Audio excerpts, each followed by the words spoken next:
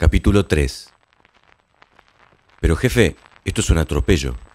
Bueno muchachos, no se calienten con nosotros, a nosotros nos mandan. Habían llegado en dos patrulleros pero sin alaraca, como quien trata de no patear al caído. En otros lugares no fue así, pero en esa unidad básica del movimiento de la juventud peronista, de la calle Catamarca al 600, los policías por poco no pidieron disculpas. Ni siquiera se metieron adentro del local ni trataron de llevarse nada de lo que había. ¿O ustedes se creen que a nosotros nos gusta hacer esto? Dijo un sargento gordo por lo bajo, mientras trataba de pegar las bandas de clausura en la puerta de chapa.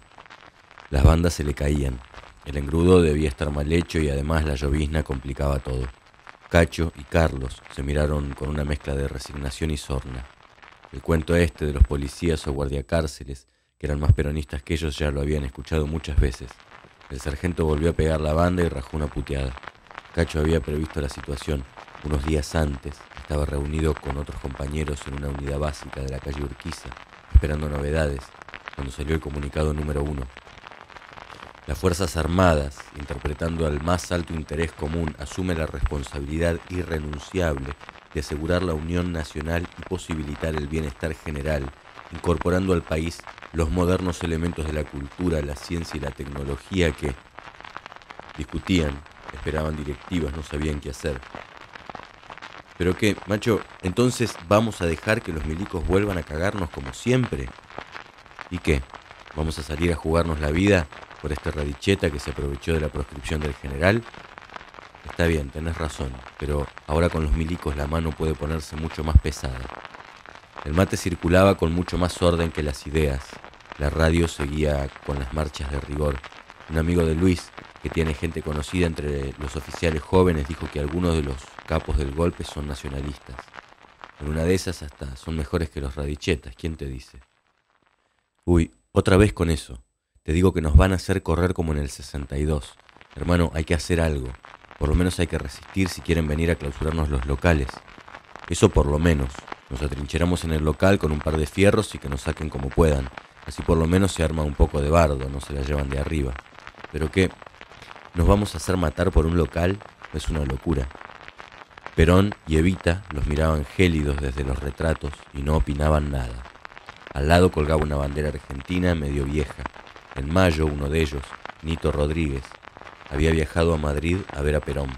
Era un trabajador ferroviario que vivía en Ciudad Evita y entre todos habían tenido que comprarle un sobretodo para que soportara el frío madrileño. El golpe ya se veía venir y el general le había dicho que por el momento era mejor mantener, mantenerse a la expectativa, tomar decisiones apresuradas. Ahora había llegado. Cacho volvió a hablar. Era el que solía tener la última palabra. No, no. Tenemos que estar expectantes. Tenemos que ver qué pasa. Por ahora conviene desencillar hasta que aclare, como dijo el general. No nos metamos, muchachos. Vamos a ver qué pasa. Así pasaron los primeros días, a la espera. Después vinieron las clausuras, la prohibición de los partidos y de toda militancia política, Onganía declaraba a diestra y siniestra que la revolución argentina iba a durar 20 años y sus declaraciones no tenían nada que ver con el famoso militar del pueblo que nunca llegaba. Ya a esa altura Cacho empezó a pensar que no les quedaría más alternativa que pelear. No era la primera vez que se le ocurría esa idea. A Émbar el Cadri tardaron como 25 años en empezar a llamarlo Cacho. Embar el Cadri había nacido en Río Cuarto en mayo de 1941, hijo de un libanés y una descendiente de piamonteses. Su padre, Khaled, había llegado a la Argentina a mediados de los años 30 y se instaló en La Laguna, un pueblito de Córdoba donde vendía de todo en un almacén de ramos generales y llegó a ser comisionado municipal cuando la revolución del 43. Por eso le llegó un día una carta que decía, el coronel Perón agradece al señor Alcadri su saludo y le desea muchos éxitos en su gestión. En la laguna, Khaled empezó a hacerse argentino. Se casó con una nieta de piamonteses, Esther Amelia Mana, y fundó una familia. Hacia fines de los 40, los El Cadri, padre, madre, Émbar y su hermana Sara Amelia, juntaron sus petates y se mudaron a Ciudadela, a pocas cuadras de la General Paz. Allí nació otra hermana que llamaron Susana Eva y un hermanito, Eduardo Omar. Al principio Khaled salía de vendedor ambulante para hacer honor a la tradición del turco, con una valija donde había de todo, hasta que consiguió con mucho esfuerzo instalar su propia tienda de telas en la calle Venezuela, en medio de sus paisanos. Hacia 1954 los negocios prosperaron y la familia se compró una vieja casa en el barrio de Flores. En esos días, doña Esther enseñaba corte y confección y trabajaba de modista. Una de sus clientas, esposa de un capitán, la convenció de mandar a su hijo al liceo militar, donde se iba a hacer un hombre de provecho. Si embarquería, podría entrar más tarde en el colegio militar. Para una familia inmigrante, un hijo oficial era un ascenso social importante. Y si no, el liceo seguía siendo un buen colegio secundario. De hecho, muy pocos alumnos seguían la carrera militar. Embar aprobó fácil el examen de ingreso y entró con media beca. El 16 de junio de 1955, el cadete de segundo año, Embar El Cadri, estaba por salir de permiso para ir al casamiento de una tía cuando le dijeron que se suspendían todas las salidas. La aviación naval estaba bombardeando la Plaza de Mayo. Embar no entendía bien por qué todos sus compañeros y oficiales estaban tan contentos. A las pocas horas vinieron a buscar a uno de los cadetes, el hijo de un general, Vergara ruso, peronista, para decirle que su padre había muerto por una bomba que cayó sobre su coche y el clima se volvió más tenso.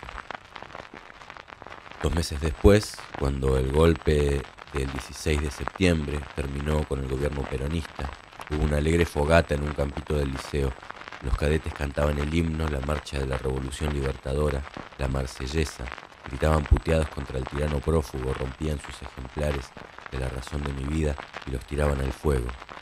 Todos participaron de la quema, entre ellos un compañero de aula de Embar, un tal Jorge Acosta, que más tarde, ya capitán, se haría famoso con el sobrenombre de Tigre, como jefe de inteligencia del grupo de tareas 33-2 en la Escuela de Mecánica de la Armada y un tal Luis María Aguirre, que terminó fundando un grupo de guerrilla guevarista, Fuerzas Armadas de Liberación, FAL, y murió combatiendo a fines de 1976. Solo hubo dos muchachos que no quemaron sus libros, un tal Rimoldi, que sería comisario y 20 años después aparecería como enlace entre la Marina y la Policía Federal, y Embar el Cal.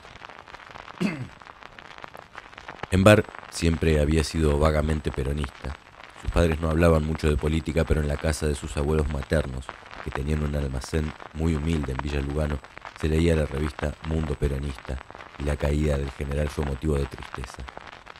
Después de la Libertadora, un cadete, hijo de un suboficial peronista, tomó la costumbre de ponerle, cada vez que podía, un balde en la cabeza al gusto de Sarmiento que había en el patio. Entonces venían los preceptores, investigaban, los amenazaban, les suspendían los recreos pero no encontraban al culpable. Cuando podía, Embar lo ayudaba, y sus compañeros le tomaban el pelo, pero no lo denunciaban. Pero Nacho, Gilum, ¿no te da vergüenza mezclarte con estos negros de mierda? Ser peronista, así, sin exageraciones, era también una manera de afirmarse, de ser diferente, pero su primera rebeldía, más o menos seria, tuvo que ver con una muerte. Un viernes de abril de 1956, cuando en Bar el Cadri estaba cursando tercer año, internaron en la enfermería a un compañero de clase, de Gasperi, por un trastorno vagamente intestinal.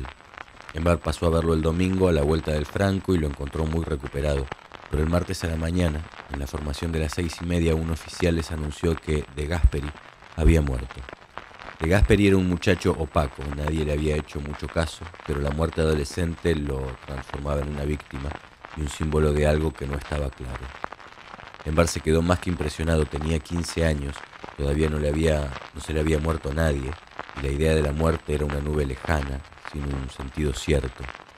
Ahí mismo en el patio los cadetes pidieron permiso para ir al velatorio y les dijeron que no, entonces preguntaron si podían ir al entierro en el cementerio de Flores y también les negaron la salida. La respuesta fue casi espontánea. Entonces no entramos a clase. Vino el, regente y les dio la orden de ir a las aulas. Nadie se movió.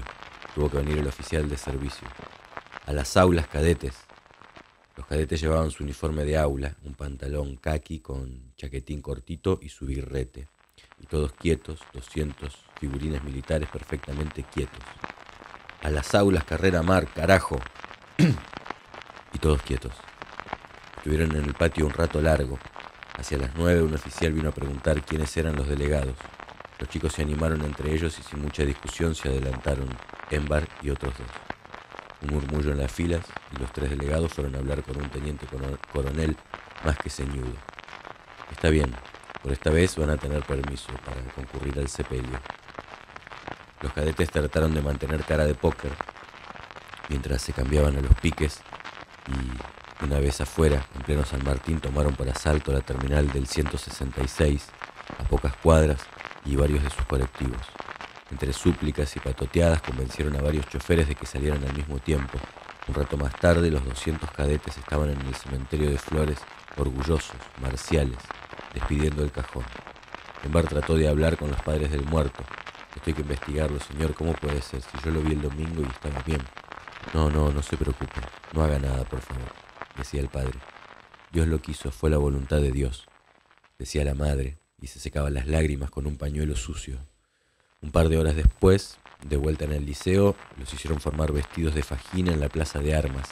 El director, un coronel Túrolo, les habló con micrófono desde una tarima. Hoy los cadetes del tercer año han cometido un grave acto de indisciplina porque aunque la causa haya sido noble, los medios no eran legítimos. Les voy a contar una anécdota que ocurrió durante la travesía del Mediterráneo, cuando las tropas de Napoleón iban a conquistar Egipto. Un teniente tenía que atar en la bodega de los barcos los cañones de una determinada manera. En el medio del cruce se desató una tormenta, el barco comenzó a moverse de babor a estribor y los cañones se soltaron y empezaron a golpear a un lado y a otro con el peligro de hundir el barco. Entonces este teniente fue con grave riesgo de su vida y pudo alcanzar las ruedas de los cañones y se salvaron gracias al teniente. Cuando llegaron a Egipto, Napoleón hizo formar a todas las tropas y dijo que iba a premiar un acto de coraje extraordinario que el, teniente, que el teniente fulano había tenido lo condecoró. Y a renglón seguido lo mandó fusilar por no haber atado bien los cañones. Los cadetes trataron de que no se les notara el estremecimiento. Se venía una difícil. El coronel Túrolo les hablaba de a poco, casi gozándolos, sin siquiera mirarlos. Hoy los cadetes de tercer año cometieron. Al principio se les dio el permiso de ir a saludar a su compañero muerto, pero en realidad querían salir porque tenían una prueba escrita. En la formación, algunos gritaron mentiroso, mentiroso, Gritaban despacito y el coronel estaba demasiado lejos para oírlos. Y la mayoría de ellos no fueron. La salida era un pretexto para no ir a la prueba. Hubo muchos que tampoco fueron al sepelio de su compañero. Los gritos aumentaron. Mentiroso, hijo de puta, mentiroso. Y ahí sí los oyeron. Un oficial preguntó quiénes habían gritado. Embar se adelantó con otros tres o cuatro. El oficial dijo que habían sido muchos más y les, y les aplicaron el quinteo numerarse de 1 a 5. 1, 2, 3, 4, 5. Cada quinto caía en la redada y cayeron algunos de los mejores promedios, el abanderado. La idea era darlos de baja a todos, pero entre los elegidos estaba el hijo de un coronel, el hijo de un ministro, y todo se arregló con 30 días de calabozo. En tercer año, los cadetes ya empezaban a hacer instrucción militar, maniobras, tiro y guardias. Las guardias eran una mezcla de holgorio y aventura. Muchachos de 15 o 16 con fusiles Mauser, pistolas ametralladoras PAM o pistolas calibre 45 ocupando puestos de control, parando coches en la ruta. Las guardias se podía abandonar un rato los deberes marciales y escaparse a comprar una pizza del otro lado de la carretera o usarla como pretexto cuando un examen no había sido satisfactorio. Lo que pasa, señores, es que estuve de guardia hasta las 7 de la mañana. Bueno, el Cadri, mañana le vuelvo a tomar. Gracias, señor. No me agradezca nada, cadete. Es justicia. Pero a veces las guardias se volvían difíciles. Una de esas noches, a un cadete se le escapó un tiro de una ametralladora Colt mató a un compañero. Las muertes empezaban a repetirse. El 9 de junio de 1956, los generales Valle y Cogorno encabezaron un levantamiento peronista que estaba muy infiltrado y capotó enseguida y terminó con el fusilamiento de los jefes. El hijo de Cogorno era cadete en cuarto año y casi nadie se animó a darle el pésame. Un compañero de Embar estaba de guardia la noche siguiente y le contó que, haciendo controles en la ruta, levantó la lona de un camión y vio un montón de cadáveres nuevitos.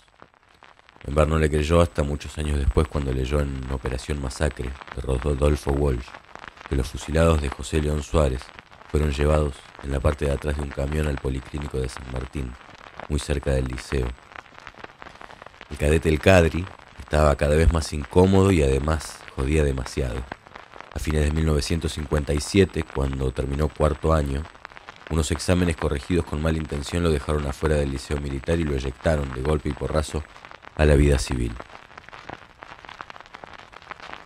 Escúcheme, dígame si cuando estaba el general los hospitales no funcionaban mucho mejor que ahora. Sí, pero no me va a negar que ese sinvergüenza hizo quemar las iglesias. Las quemó, las quemó. Pero ¿qué es más importante? ¿Las iglesias o la gente? Así que encima, así que encima de peronista es ateo usted. Remataba Émbar a los gritos. Era toda una farsa que los muchachos solían organizar en la esquina de Corrientes y Esmeralda o delante de las pizarras de la Nación, en la calle Florida. Dos de ellos se ponían a discutir en voz alta. Uno hacía de peronista y otro hacía de gorila. Embar solía ser de gorila porque todavía estaba en quinto año nacional y andaba de saco, corbata y anteojos. Embar era fibroso, no muy alto, eléctrico, de pelo negro y facciones agradables. Era el que mejor podía pasar por un estudiante de clase media, un intelectual gorila. Pero si ese turro nos tuvo a todos presos durante diez años, ¿qué me va a contar? Y siempre aparecía alguno del público que lo apoyaba. Si ese viejo hijo de puta nos mandaba los cabecitas para meternos miedo.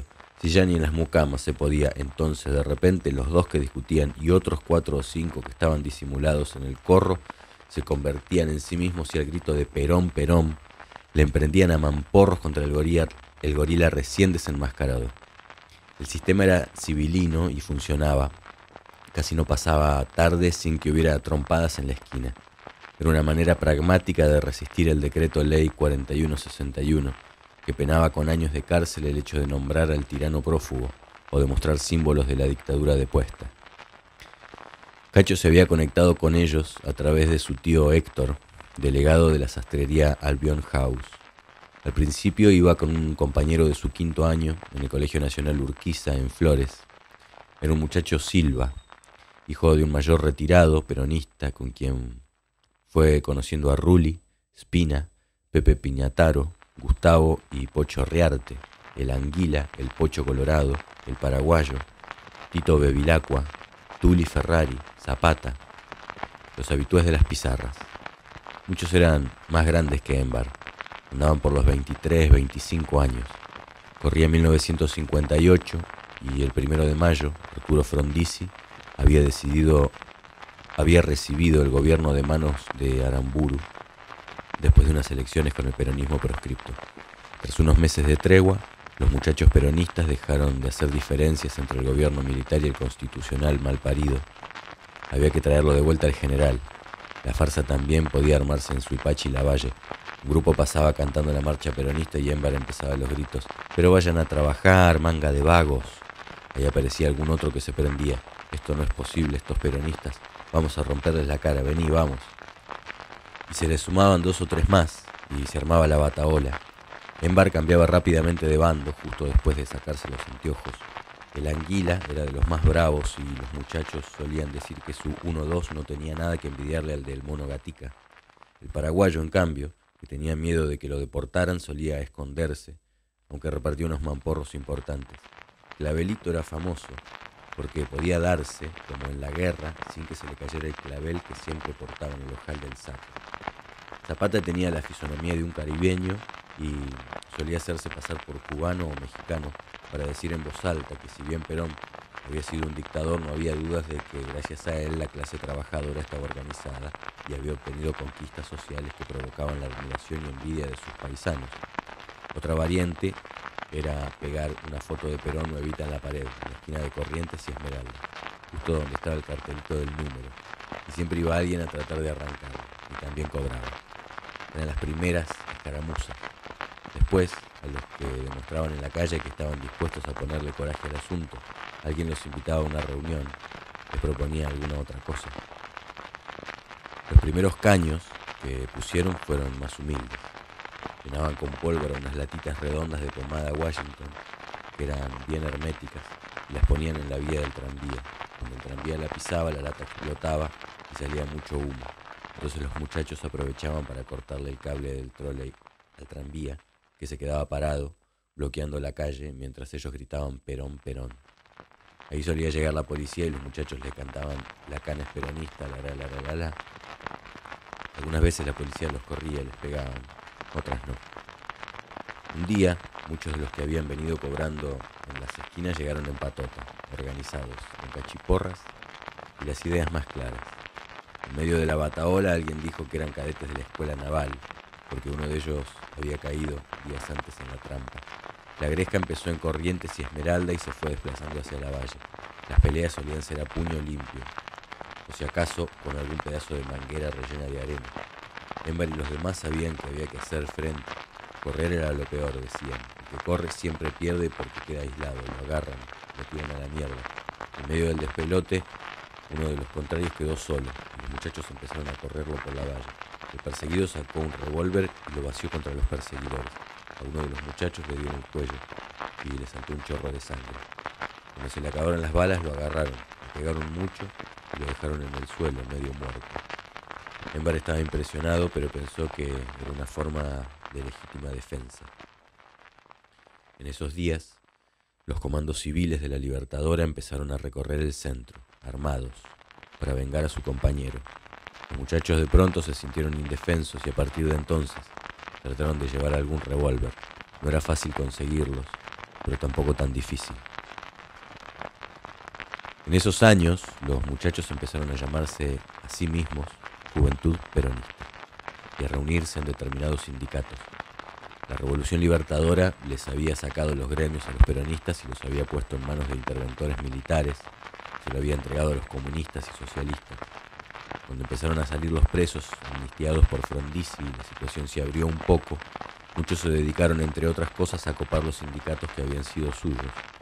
En algunos hubo elecciones y los peronistas las ganaron, en otros no hubo, y los muchachos de la juventud más de una noche hicieron saltar una cerradura para ocupar un local sindical.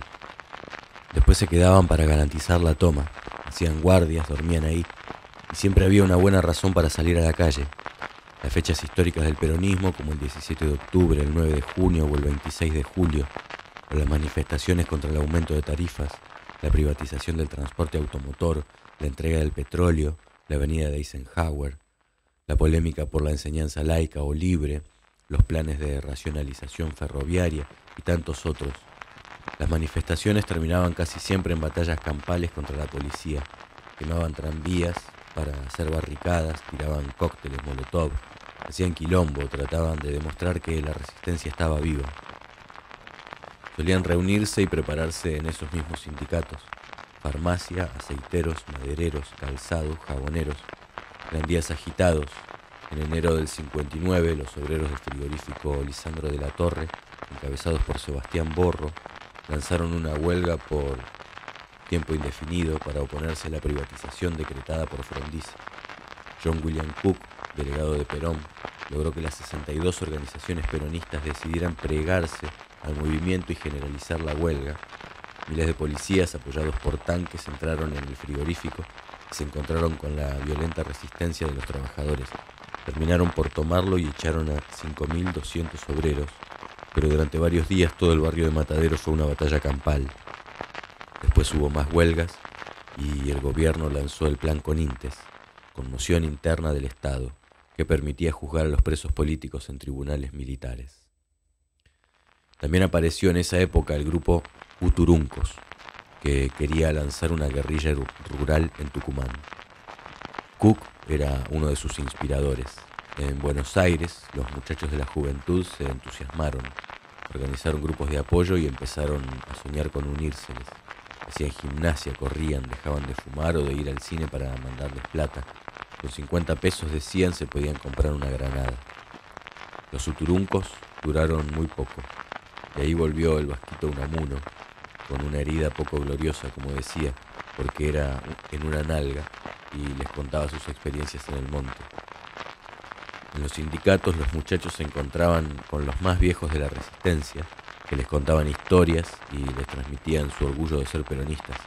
Ahí conocieron a Julio Troxler, Magín del Carmen Guzmán, el flaco Durruti, Benito Moya, Bigotito Banzini, César Marcos, Raúl Lagomarcino y muchos otros que les enseñaban la necesidad de la organización, de actuar con el pueblo y no por el pueblo, sutilezas de la dialéctica, de las reglas del accionar en conjunto obedeciendo a un plan general que se llamaba la estrategia y que había que diferenciar de la táctica porque si no uno podía equivocarse. También les dejaban sus dudas y peleas internas, porque en su pasión por hacer cada uno creía tener la precisa, la última directiva que escuchaban en, los flamantes grabadores geloso, una rareza cara por entonces, de donde salía la voz de Perón, como si estuviera ahí mismo, hablando con cada compañero. Algunos les decían que a Perón había que traerlo con las armas, que si no nunca lo iban a dejar volver. Sí, pero ¿qué armas? Armas no tenemos. Tenían algún revólver, nada importante. A veces los robaban, otras hacían una colecta para comprarlos. Cacho le había sacado un 38 a su abuelo, cazador experto, y solía llevarlo. Había aprendido a usarlo en el liceo y era buen tirador. Pero siempre había alguien que conocía a un coronel o a un general peronista que estaba dispuesto a levantarse y repartiría las armas entre los civiles. El general Iñiguez, por ejemplo, que mandaba la central de operaciones de la resistencia. Una vuelta la gente de Iñiguez les encargó un trabajo de inteligencia. Tenían que poner un par de petardos en una iglesia de constitución. Primero no entendieron bien el truco hasta que el tipo les explicó. Los muchachos, ¿cómo no se dan cuenta? Les ponemos unos caños a los curas para asustarlos nomás, no es por nada. La cosa es que se crean que se viene el comunismo y que la única manera de pararlos es que vuelva el general. ¿Captaron? Sí, ahora sí, bigotito.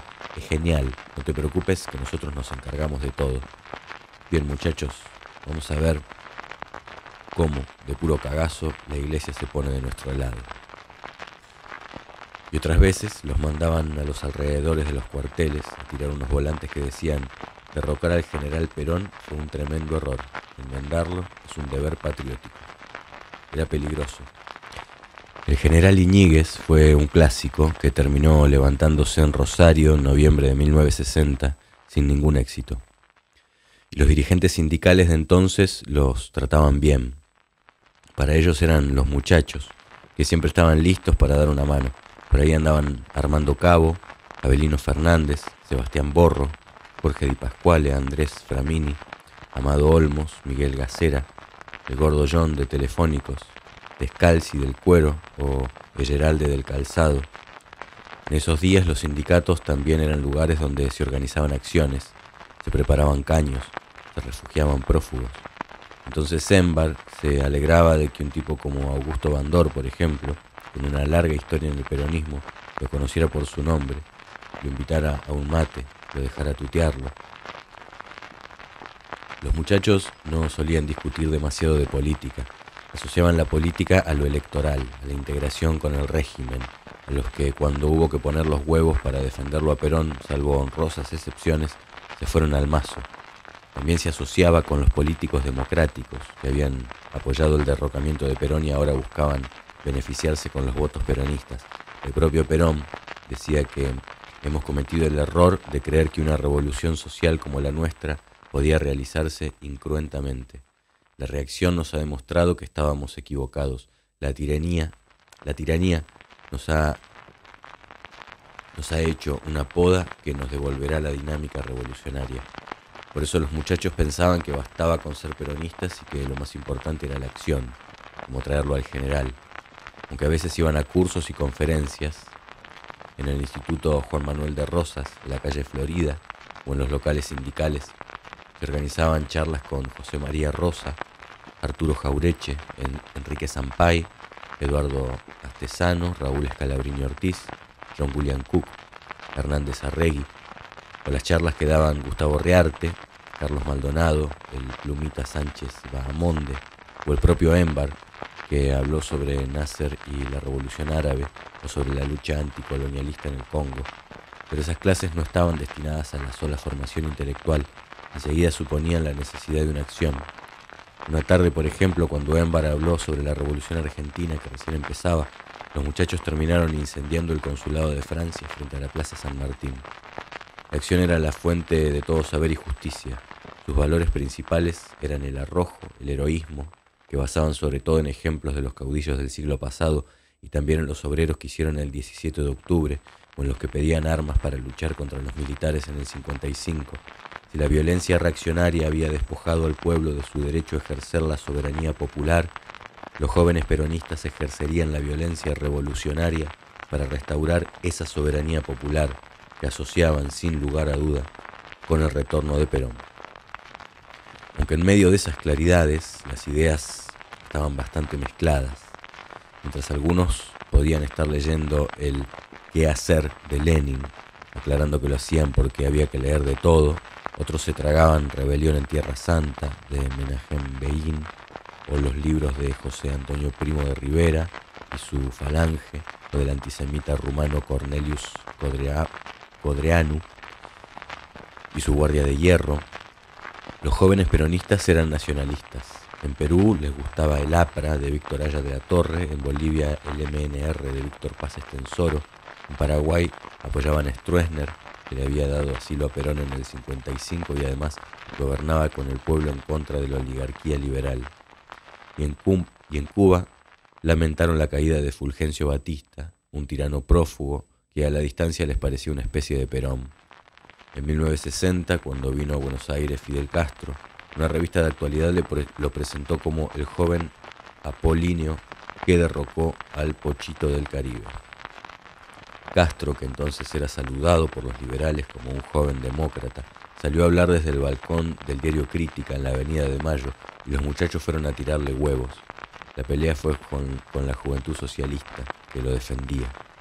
Sin embargo, no se consideraban de derecha, la derecha eran los de Tacuara, que se reunían eh, en un local de la calle Tucumán bajo el nombre de Unión Cívica Nacionalista. Ustedes no son peronistas, les decían. Ustedes son nacionalistas católicos, no confundamos.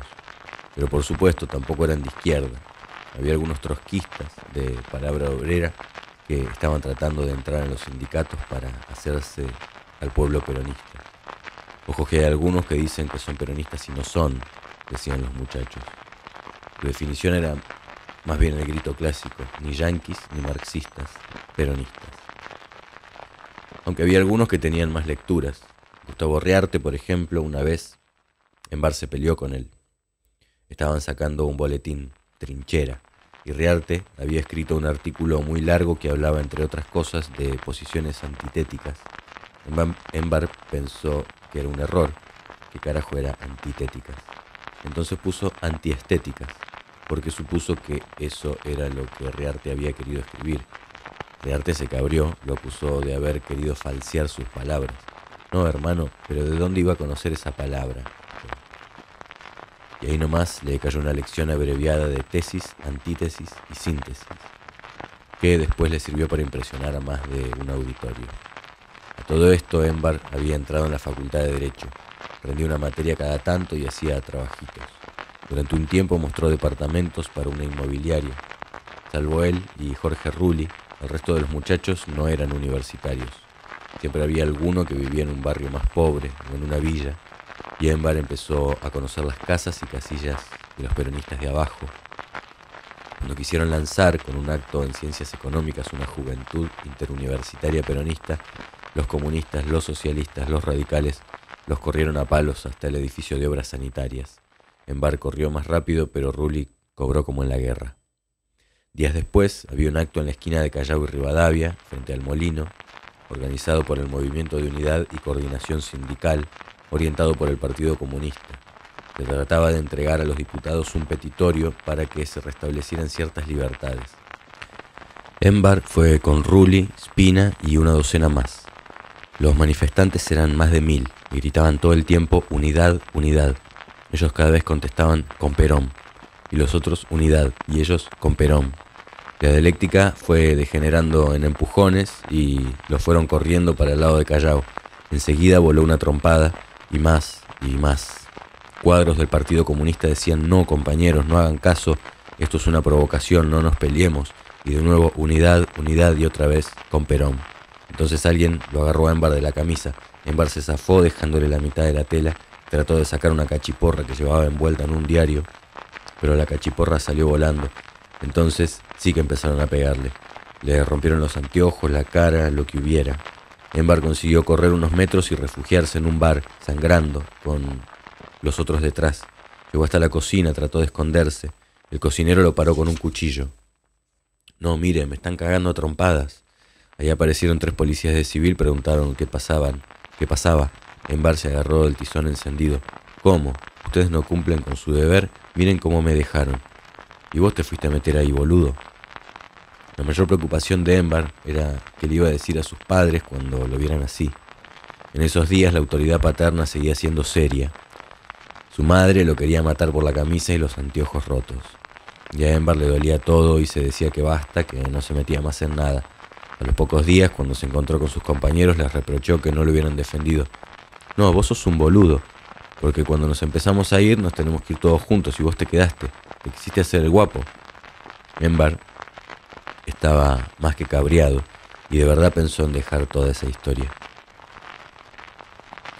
La cocina era chiquita y los siete se amontonaban ahí callados, mirándose, tenían hambre, pero les habían explicado que no tenían que comer nada.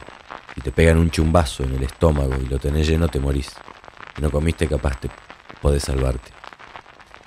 La idea se le había ocurrido a Gustavo Rearte. Ahí enfrente, del otro lado de la autopista General Richieri, Estaban terminando unos monoblocks para personal aeronáutico. Como tenían miedo de las ocupaciones ilegales, siempre habría tres o cuatro soldados de custodia.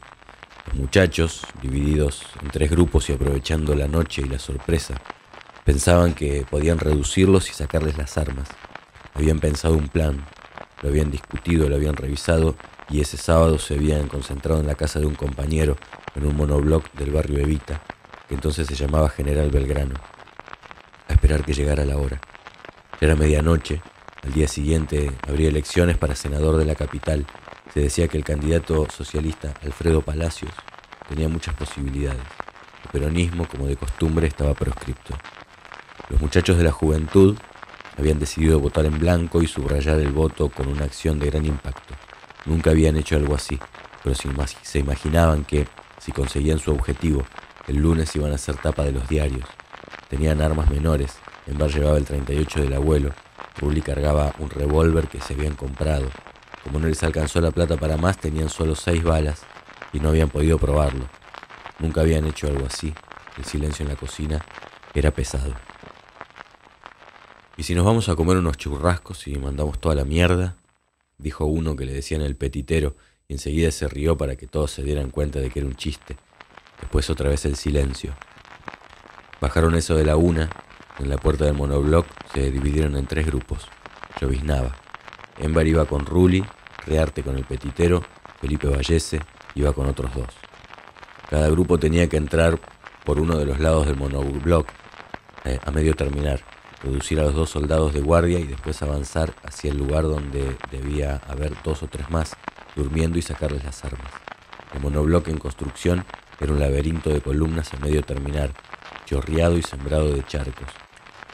Embar pensó que si metía un pie en el agua el ruido iba a arruinar todo. Un par de lamparitas colgando iluminaban apenas.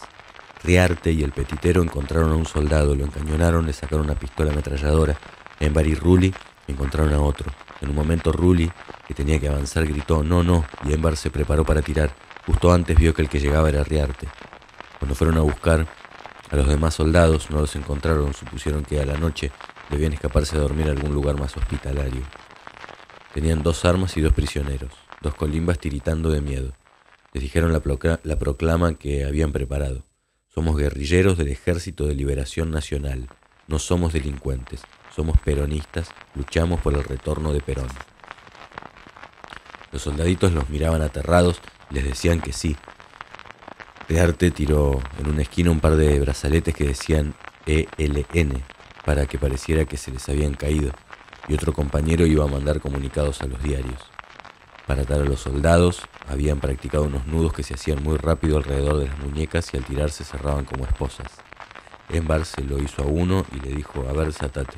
El soldado se desató casi sin querer, así que los ataron a la criolla. Los dejaron tirados en el suelo y Rearte dio la orden de retirada. A los camiones, a los camiones.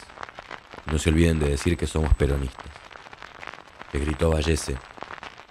Los camiones nunca habían existido, se separaron en dos grupos. Enbar se fue con Rulli, el petitero y Vallese, caminando por un descampado.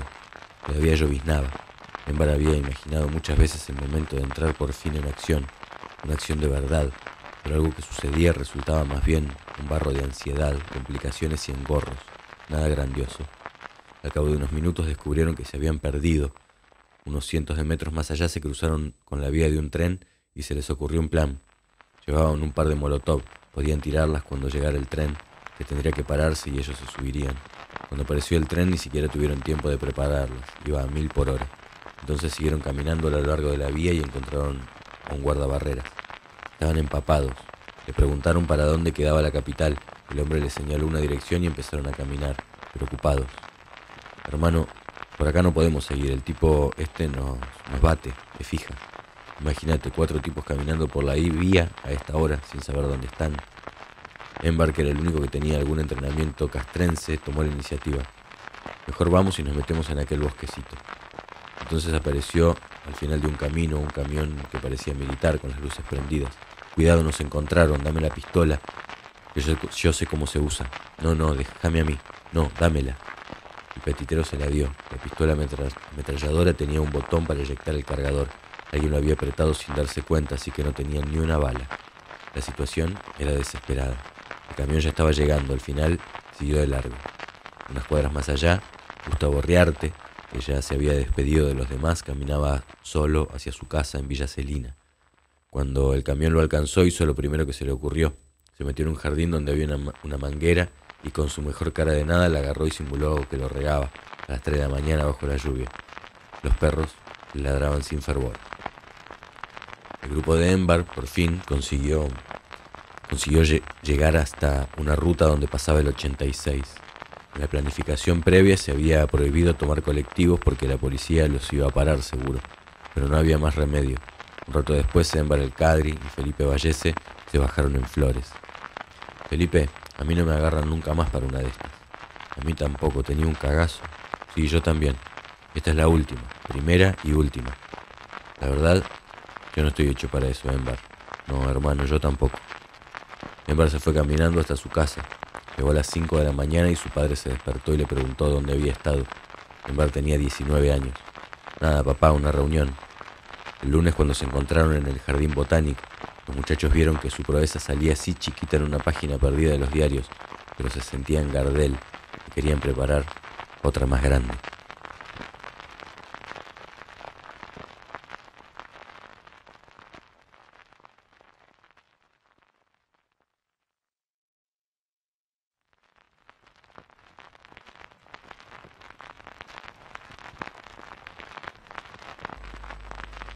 El 30 de noviembre de ese año, el general Iñiguez lanzó por fin su chirinada. Los sublevados tomaron un cuartel en Rosario y eso tenía que desencadenar otros alzamientos en varios lugares del país. Los muchachos esperaban acuartelados en el sindicato de aceiteros en Buenos Aires. En cuanto el golpe se impusiera, tenían que salir a la calle, tomar los ministerios, copar las embajadas para que no se les, para que no se les escaparan enemigos. Winchesters, pistolas, revólveres, dos ametralladoras, muchos explosivos, una farmacéutica y una médica para ocuparse de los heridos. Había por una vez varias mujeres, Clarisa, Aida y María. A Embar le impresionaba ver las mesas preparadas para salir de Camillas. La noche se fue pasando entre chistes malos y ansiedad de noticias. Las radios no contaban casi nada. A las seis de la mañana, cuando ya fue evidente otras guarniciones no se levantaban, el grupo de comando se concentró con esa mezcla rara de amargura y alivio. Cada vez les parecía más claro que los milicos siempre prometían y después se echaban para atrás, que ya estaban hartos de confiar en esos tipos, que las soluciones tenían que surgir de ellos mismos. El grupo era más o menos estable, salvo por las caídas. A Gustavo Riarte lo agarraron en diciembre después de un tiroteo. Su hermano Pocho y Embar se fueron al hospital Rawson dispuestos a reducir al policía de guardia y rescatarlo, hasta que un médico que conocían le dijo que si se lo llevaban así, con el intestino agujereado en 15 partes, se les moría. Juli y Espina también habían caído y también intentaron rescatarlos. Pasaron varias tardes acostados en la acera Himalaya, mirando pasar el camión que llevaba a los presos desde la penitenciaría de las esferas hasta el Consejo de Guerra en el regimiento primero de, de Palermo. Pasaba el camión militar, esos abiertos atrás y los muchachos en combinación con los presos pensaban tirar unas granadas para parar. En frenada los guardias del camión iban a quedar culo para el norte y los iban a reducir fácil y después con sus compañeros rescatados iban a huir todos en un Kaiser Carabel. Cacho le había pedido su colaboración a José Luis Nel, que sin preguntar nada se sumó al operativo. Estaba todo listo, pero el día D llovía. Mis dos compañeros faltaron a la cita la operación se levantó a último momento en el bar de Canning y Las Heras. Después, enterados de que ese día ni Rulli ni Espina estaban en el camión militar. Al mismo tiempo trataban de organizarse un poco mejor. Habían armado una estructura en la que se reunían los distintos grupos que andaban medio sueltos. La Juventud Peronista la Mesa Ejecutiva estaba compuesta por un comando de organización, un comando de finanzas, un comando de prensa y propaganda, un muchacho de la matanza, Alberto Brito Lima, estaba a cargo del comando de organización. En una de las reuniones, Embar, Carlos Caribe, Luis Sansoilet, Aida Filippini y Edgardo Lombardi, entre otros, le criticaron a Brito los riesgos innecesarios que había corrido en una acción que terminó mal. Entre un reproche y una puteada la polémica fue degenerando y Brito Lima decidió abrirse dándose su comando de organización. Mientras tanto, los muchachos seguían activando, publicaban trinchera, armaban un acto, ponían algún caño, pero las caídas se aceleraban. Los buscaban, entre otras cosas, por lo de Seiza. El detenido había cantado nombres. Entre los nombres, entre los más buscados, figuraba un tal Saúl Hecker. Los grupos solían estar infiltrados y no tenían grandes medidas de seguridad. Enbar y sus compañeros usaban nombres de guerra, nombres falsos, pero muchos se conocían los apellidos verdaderos. A Enbar le habían puesto Seque, por sus iniciales EZE. Seque, el malo, era el padre del lobo feroz, una historieta que los del grupo solían leer en esos días. Entonces cuando aquel preso cantó, el único, nombre que conocía del séptimo integrante del grupo de Ezeiza era Seque. Los policías que lo torturaban para interrogarlo conocían a un hacker, militante de la resistencia peronista, y supusieron que era él. Salió en los diarios, se busca a Saúl Hecker, ideólogo marxista.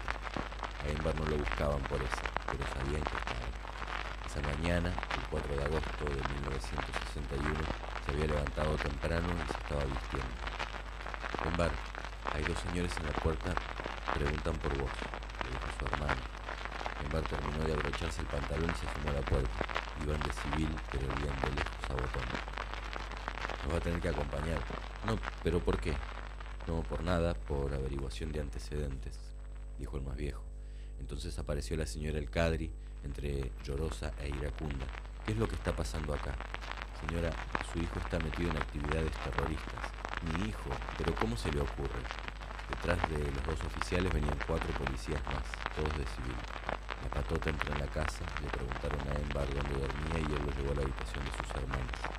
La suya tenía dentro de una caja de aeromodelismo una granada y una pistola. En la confusión, Embar trató de decirle a su hermana mayor que se llevara la caja, la hermana no entendió. ¿Y a dónde vas cuando te vestís así, corazón? Le dijo uno de los oficiales que había empezado a revisar un armario mientras sacaba una pollera de cuadritos. Embar los tuvo que llevar a su dormitorio y los policías empezaron a revisar todo hasta que encontraron la caja de aeromodelismo. ¿Y esto de acá? No sé, señor. Yo esto recién lo veo ahora. No seas mentiroso, esto lo tenías vos acá. No, yo recién lo veo. En menos de un minuto Embar estaba esposado y lo empujaban hacia un coche en la puerta. Su madre lloraba y la calle estaba llena de curiosos. Embar no terminaba de entender si se sentía un héroe o un pelotudo o era más que nada miedo.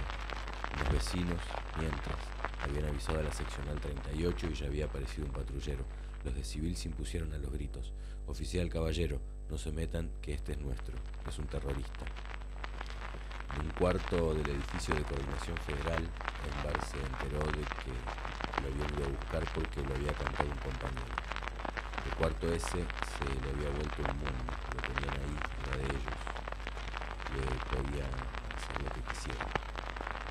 Tenía, lo tenían esposado, con las manos atrás y lo patoteaban entre cuatro. te gritaban, lo zapateaban, y Embar no sabía de dónde iba a venir el próximo golpe o la próxima pregunta. Quedarte siempre le había dicho que había que negar todo, decir que sí, ya vas a tener tiempo, le decía. Ellos saben, te juran, te tienen, pero les queda la duda. Lo tenían. Tantas veces había temido ese momento. Tantos compañeros le habían hablado de eso y ahora por fin iba a ver cómo reaccionaba. Pensó que ojalá fuera capaz de portarse como había querido. Trató de pensar, sobre todo en eso, pero los canas no lo dejaban concentrarse, entonces no agarró su granada, de lo más casera, fundida por los compañeros de resistencia de zona sur, fragmentada como si fueran ravioles, con un tapón de corcho, y unos fósforos incrustados en el corcho. Al rasparla con la lija de una fosforera se prendían los fósforos. Teóricamente la granada explotaba al cabo de unos segundos. El sistema funcionaba muy de vez en cuando. ¿Y esto para qué sirve? No sé, señor. A mí me dijeron que la guardara. No tiene nada. Uno de ellos acercó un cigarrillo a los fósforos de la granada. Ah, ¿no tiene nada? Vamos a probar, hijo de puta. Vas a saltar por los aires. No tiene nada. Los oían pateando. Y le hacían el aplauso. Desde atrás dos cachetazos sincronizados uno en cada oreja. Mientras le preguntaban por tal o cual acción, si había estado en la de Seiza, si conocía a fulano o a mengano, bar mantenía el ingenuo inocente que negaba todo. La sesión duró un par de horas hasta que se cansaron, lo dejaron tirado en una celda. Cada tanto venía alguno y decía, este es el que tenía la granada, la quería tirar contra nosotros, hay que matarlo. Embar trataba de contestar que no, que no sabía nada y lo puteaban más. El mismo día en que detuvieron a Embar, los civiles fueron a buscar a Alberto Brito Lima en la casa de su madre en Mataderos. Ella les dijo que no estaba y los policías se fueron. Cuando Brito pensó que ya había pasado suficiente tiempo, salió a la calle. Los policías lo estaban esperando. Cuando le dieron la voz de alto, Brito estaba desarmado y trató de salir corriendo, pero lo bajaron de un balazo en la pierna. Los policías también hirieron a dos vecinos lo tuvieron unos días en el hospital Salaberry, pero como no había pruebas, tuvieron que soltarlo. Después de una semana en coordinación, la policía trasladó a Ámbar el Cadri al Regimiento Primero de Palermo para pasar ante el Consejo de Guerra. Embar seguía ignorando todo y sobre todo se negaba a declarar ante un tribunal que, según la Constitución, no le correspondía. Cuando le pegaban, Embar juraba la Carta Institucional soy cadete del liceo militar y me parece una vergüenza, un deshonor que los militares sean torturadores. Yo no lo podía creer cuando leí que ustedes eran torturadores, pero ahora me doy cuenta de que es verdad. Ah, sí, ¿y dónde lo leíste, turro? No, no sé, por ahí, no sé. Te vamos a fusilar, hijo de puta. Evar el Cadri fue condenado a cinco años de cárcel por tenencia de explosivos e infracción a la Ley Federal de Emergencia número 15.293, dictada para suplantar los tribunales del Plan Conintes. Estuvo en Caseros, en Neuquén, donde conoció a Monseñor de Nevares, en Santa Rosa, donde los guardiacárceles se habían sublevado el 9 de junio de 1956 bajo el mando del capitán Philip otra vez en Caseros, donde lo trajeron el 25 de mayo de 1963 para llevarlo al funeral de su hermano Omar, que murió a los 11 años. En esos días las cárceles no tenían pabellones especiales para políticos. Los militantes compartían el lugar con los demás presos. Omar, en mi cuaderno que llevaba entonces, donde describía la vida carcelaria, escribía recomendaciones jocosas para el preso Bisonio. Cuando entra al pabellón se le acercará un muchacho y en amable tono de voz le dirá, diga, allá en el fondo hay un muchacho que lo conoce. Usted dirigiría la vista al fondo y sabrá por primera vez qué quiere decir oscuro como boca de lobo. No obstante, se armará de coraje y avanzará. Llegará una rueda matera de 8 o 10 integrantes que se caracterizarán por tener una toalla alrededor del cuello y calzar suecos. Lo observarán detenidamente hasta que uno le preguntará, ¿Por qué caíste? andas en la pesada. Usted podrá contestar la verdad o mentir, o sin dejar de decir la verdad, adornarla con algunos detalles. Entonces se expresará como una persona que nunca ha estado presa, menos en el ambiente, y ellos, los muchachos, confirmarán el juicio emitido por su sexto sentido cuando lo vieron entrar.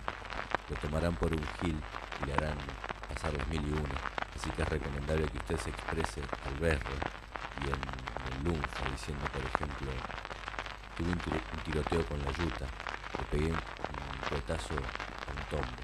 Pero se me trabó la máquina y el chino me agarró Bobby porque me quería mandar a la parrilla. En RH estuve 14 días, con paz en los riñones, gomazos en la espalda, cadenazos en los pulmones, todavía orino sangre, pero no me sacaron ni mu. Me hacen autor de 104 hechos y una masiva. Tengo 124 quemaduras comprobadas. Escribía Embar en su cuaderno de Miguelito. En la cárcel, los peronistas solían llamarlo Miguelito. En la cárcel, Ember Miguelito conoció a muchos compañeros. La cárcel les dio a estos militantes, más bien aislados de pequeños grupos, la posibilidad de ir haciendo los contactos que más tarde les permitirían crear estructuras nacionales y además se mudaban amistades que durarían muchos años. Caseros, en agosto de 1962, se enteró de que la policía de la, provincia había secuestrado a su amigo Felipe Vallese, un obrero metalúrgico del grupo que se robó las armas en 6 que nunca más apareció y se transformaría en uno de, los primeros mártires, mártires que reivindicaría la juventud peronista. Caseros también vio un día en el retrogrado de la prensa la foto de una maestra primaria que había acompañado a sus alumnos a visitar las instalaciones del diario. La maestra le gustó, el puro preso, aburrido, le escribió. Cuando llegó la respuesta estaba más que nada sorprendido. Al principio creí que se trataba de una broma hacia la chica, pero después pensé que no. Y entonces, pensando en lo que debes estar decidí responder. Si es una broma, olvídalo. Pero si no era una broma, te ofrezco mi amistad. Embar le contestó y ella a su vez. El correo en esa época funcionaba y se mandaban un par de cartas por semana. Embar se le declaró en el mismo lunfardo que recomendaba su diseño imaginario. En este chamullo reo, con respeto le diré, el amor de un hombre niño por una niña mujer. En entreveros y aprietos, el primero siempre fui. Si la yuta me dio la mata, por seguir mi ideal, no deje de ser Tauro en la parada floja. Entre sunchales y logias, entre malandras y ortivas, enfriaba yo los días. Venga de alegría o de pasión, ninguna feba encendía. En la, en la mula vi una foto de candelas espíritus, entre pastenatas y pamelas, encontré ahí tus ojitos, que al zurdo encanaron, sin. Escribí sin confianza porque la desgracia el pobre no tiene esperanza. Batacazo, tu rayito de sol, hermoso como una flor, a sus letras mostraba la dulzura del amor. Ahí nomás el bobo se descarriló, ya latía solo por vos y a nadie más relogió. Lo que no pudo la yuta, lo que no pudo el botón, lo logró la niña Mirta y su churro corazón. Ya pueden venir cuetazos y la máquina también, en la muerte como hermana yo también abrazaré, y en esa muerte me espera su cariño de mujer. En libertad, Embar no había tenido gran trato con mujeres. El mundo de la juventud peronista era muy masculino y sus actividades lo tenían demasiado absorbido, pero en la cárcel ese enamoramiento fue uno de sus grandes aliados. Mirta empezó a visitarlo cada vez que podía en caseros se siguieron escribiendo como lo transfirió en las cárceles más lejanas. Embar salió en libertad en Santa Rosa de la Pampa el 6 de junio de 1963, después de casi dos años de prisión, porque su condena fue reducida gracias a la defensa del doctor Ventura Mayoral, abogado y apoderado del general Perón. De vuelta en Buenos Aires se encontró con Mirta. Los novios epistolares se dieron algunos de los besos ocasionados por el que tanto habían demorado, ella le pidió que hiciera una vida más normal, que volviera a la facultad, que dejara todas esas historias de la militancia. Le apretó. Fue un error. Entre Mirta y Perón, Embar eligió a Perón. Esta pistola me la dio el general Perón para que se la entregue usted, le dijo Héctor Villalón mientras le alcanzaba una cajita con una 765 y Embar el Cadri se infló como un pavo real. Embar, Espina y Luis Sansolet estaban en una suite del Hotel Victoria Plaza, el mejor de Montevideo, en pleno invierno de 1963. Villalón era un desconocido, pero había aparecido con credencial muy en regla, firmadas por el general, que lo autorizaban para ayudar a la reorganización de la juventud peronista, y decía que en realidad su verdadera misión era organizar la guerra de guerrillas en todo el continente. Villalón los había invitado a reunirse con él en Uruguay. Sobre la mesa, junto a las tazas vacías del desayuno, Villalón había desplegado un mapa de la Argentina. Les explicaba cómo los tanques que iban a comprar en Chile entrarían por tal paso del sur, como desde Paraguay iba a avanzar un ejército con aviones. La invasión iba a ser definitiva. Cualquiera podría haber pensado que eran los delirios de un chiflado, pero a los muchachos los planes sonaban la música divina. Era lo que siempre habían querido oír y venía avalado por los credenciales del general. Primero que vamos a hacer es mandarlos a ustedes a Cuba para que se entrenen en el manejo de los MiG-17 que van a ser los que encabecen la invasión. Decía Villalón y los muchachos se miraban excitados. Villalón les hablaba de Fidel Castro, como quien habla de un amigo de siempre. Lo llamaba el caballo y también exhibía su intimidad con el famoso Barba Roja, que era el cubano que se ocupaba de todos los movimientos revolucionarios en América muchachos ya habían cambiado su juicio sobre Fidel y estaban muy impresionados. Además, quiero que de ahora en más todos los explosivos que hay en Buenos Aires los manejen ustedes. Mientras tanto, Villalón les dio 150 mil pesos para armar el congreso que tenían que organizar con la juventud peronista. A los pocos días de vuelta en Buenos Aires, Embar se encontró con un compañero de muchos años, Julio el sobreviviente de los fusilamientos de 1956. Su grupo era el que tenía buena parte de los explosivos que supuestamente ellos tenían que controlar. Así que ustedes me quieren matar a mí, le dijo Troxler de movida. Pero Julio, ¿cómo se te ocurre? No, porque me dijeron que ustedes nos quieren sacar los explosivos. ¿Quién te dijo eso? Troxler primero le dijo que no podía decirlo, al final le confesó que había sido Villalón. Ah, Villalón, Flor hijo de puta. Nosotros Villalón nos dijo que vos querías darnos las cosas. Al salir de la cárcel, unas semanas antes, el Cadri, Espina y Rulli habían formado un triunvirato para reorganizar la juventud. Tenían ciertas diferencias. Embar pensaba que la JP debía ser un ejército de cuadros que encabezara la lucha armada y Rulli una organización de masas para la insurrección popular. En esos días Embar y Espina se enteraron de que Rulli, había estado con ellos en Montevideo, también había escuchado los cantos de sirena de Villalón y se había abierto. Se juntó con Gustavo Rearte. La unidad buscada se estaba rompiendo antes de empezar. Embar estaba muy amargado. Rearte y Rulli estaban entre los compañeros más queridos. Ahí decidieron cortar por los años. Espina, Sansolet y otros cuatro salieron para Montevideo con la, intervención, con la intención de secuestrar a Villalón y traerlo a Buenos Aires para aclarar las cosas. Pero el enviado se les adelantó. Dos días más tarde, caía preso en el bar La Paz de Corrientes y Montevideo. Dicen que su declaración fue un alarde de detalles y de buena memoria. La reorganización de la juventud, de todas formas, seguía siendo el objetivo. Tenían los 150 mil pesos de Villalón. Ramini colaboró con el Hotel de los Textiles en Valle Grande, Córdoba, y Bandor les prestó un par de coches para que recorrieran el país, convocando a los compañeros de las provincias. Embar y los suyos no sabían manejar y Bandor puso también a los choferes. Dos compañeros de confianza, dos muchachos dispuestos a todo. Les dijo el lobo. Un auto lo manejaba Juan de Estefano, el otro Herminio Iglesias. Eran apenas más grandes que ellos, tendrían 26 o 27 años. Los respetaban porque habían estado en la cárcel y en muchas otras, pero se asombraban de que cuando hacían noche en algún pueblo no los acompañaran a tomar unas copas o al quilombo. Embar trataba de explicar que tenían que mantener una conducta que no podían gastarse la guita en esas cosas. Y Herminio, entre sonrisas, preguntaba si eran peronistas oscuros o troscos o qué eran, pero las discusiones no pasaban de ahí. Fuera de eso, los unía el mismo entusiasmo por su tarea. A veces, cuando pasaban por algún lugar especialmente descampado, ponían un par de naranjas al costado del camino y hacían puntería.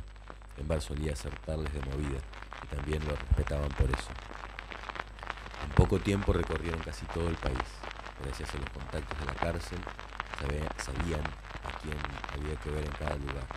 Hacían reuniones más o menos clandestinas con 10, 15 o 20, según hubiera. En cada lugar se nombraban delegados, con el Congreso reorganizado de Riembar y los suyos una cita para octubre en el Hotel Textil y la plata para el pasaje. La clandestinidad era relativa.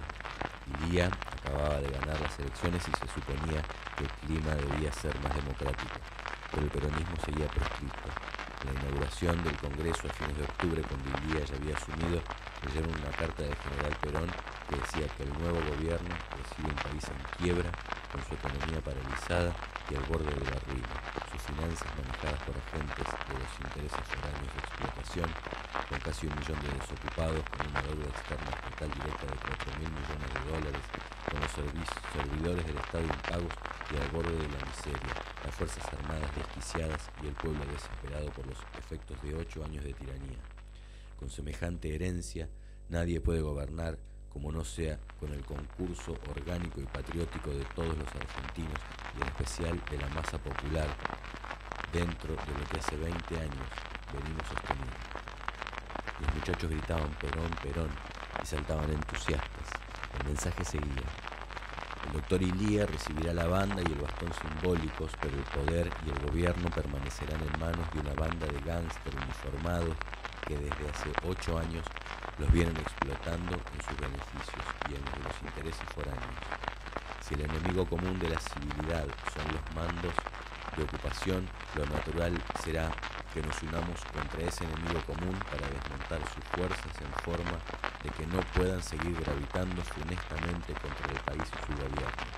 El pueblo argentino apoyará cualquier esfuerzo hecho en este sentido, porque azorado por los terribles males del presente, está inclinado a hacer cualquier sacrificio por su liberación, ya sea colaborando en una situación justa como luchando cruelmente contra la continuidad de la injusticia. Grito seguía igual, Perón, Perón. En esos años las consignas no eran muy variadas. Cuando se callaban, más mensaje. Sí, desperdiciando la oportunidad que se les presenta, la pequeñez y la ambición dominan a estos hombres que la casualidad ha puesto en situación de decidir se habrá perdido la última ocasión y las consecuencias serán imprevisibles, porque lanzado el pueblo en brazos de la desesperación, solo le quedará expedito el camino insurreccional y la lucha cruenta con todos sus efectos. El centenar de delegados cantó la marcha peronista con el fervor de quien se desquita y está por fundar algo. Esa misma tarde llegaron algunos que no habían sido invitados, Alberto Brito Lima apareció en un micro con 40 más, con bombos y cadenas. Los muchachos pensaron que, que había ido a romper el Congreso, pero al final lo dejaron hablar.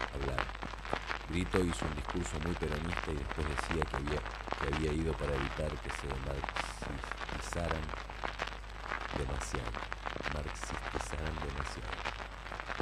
Rearte también habló.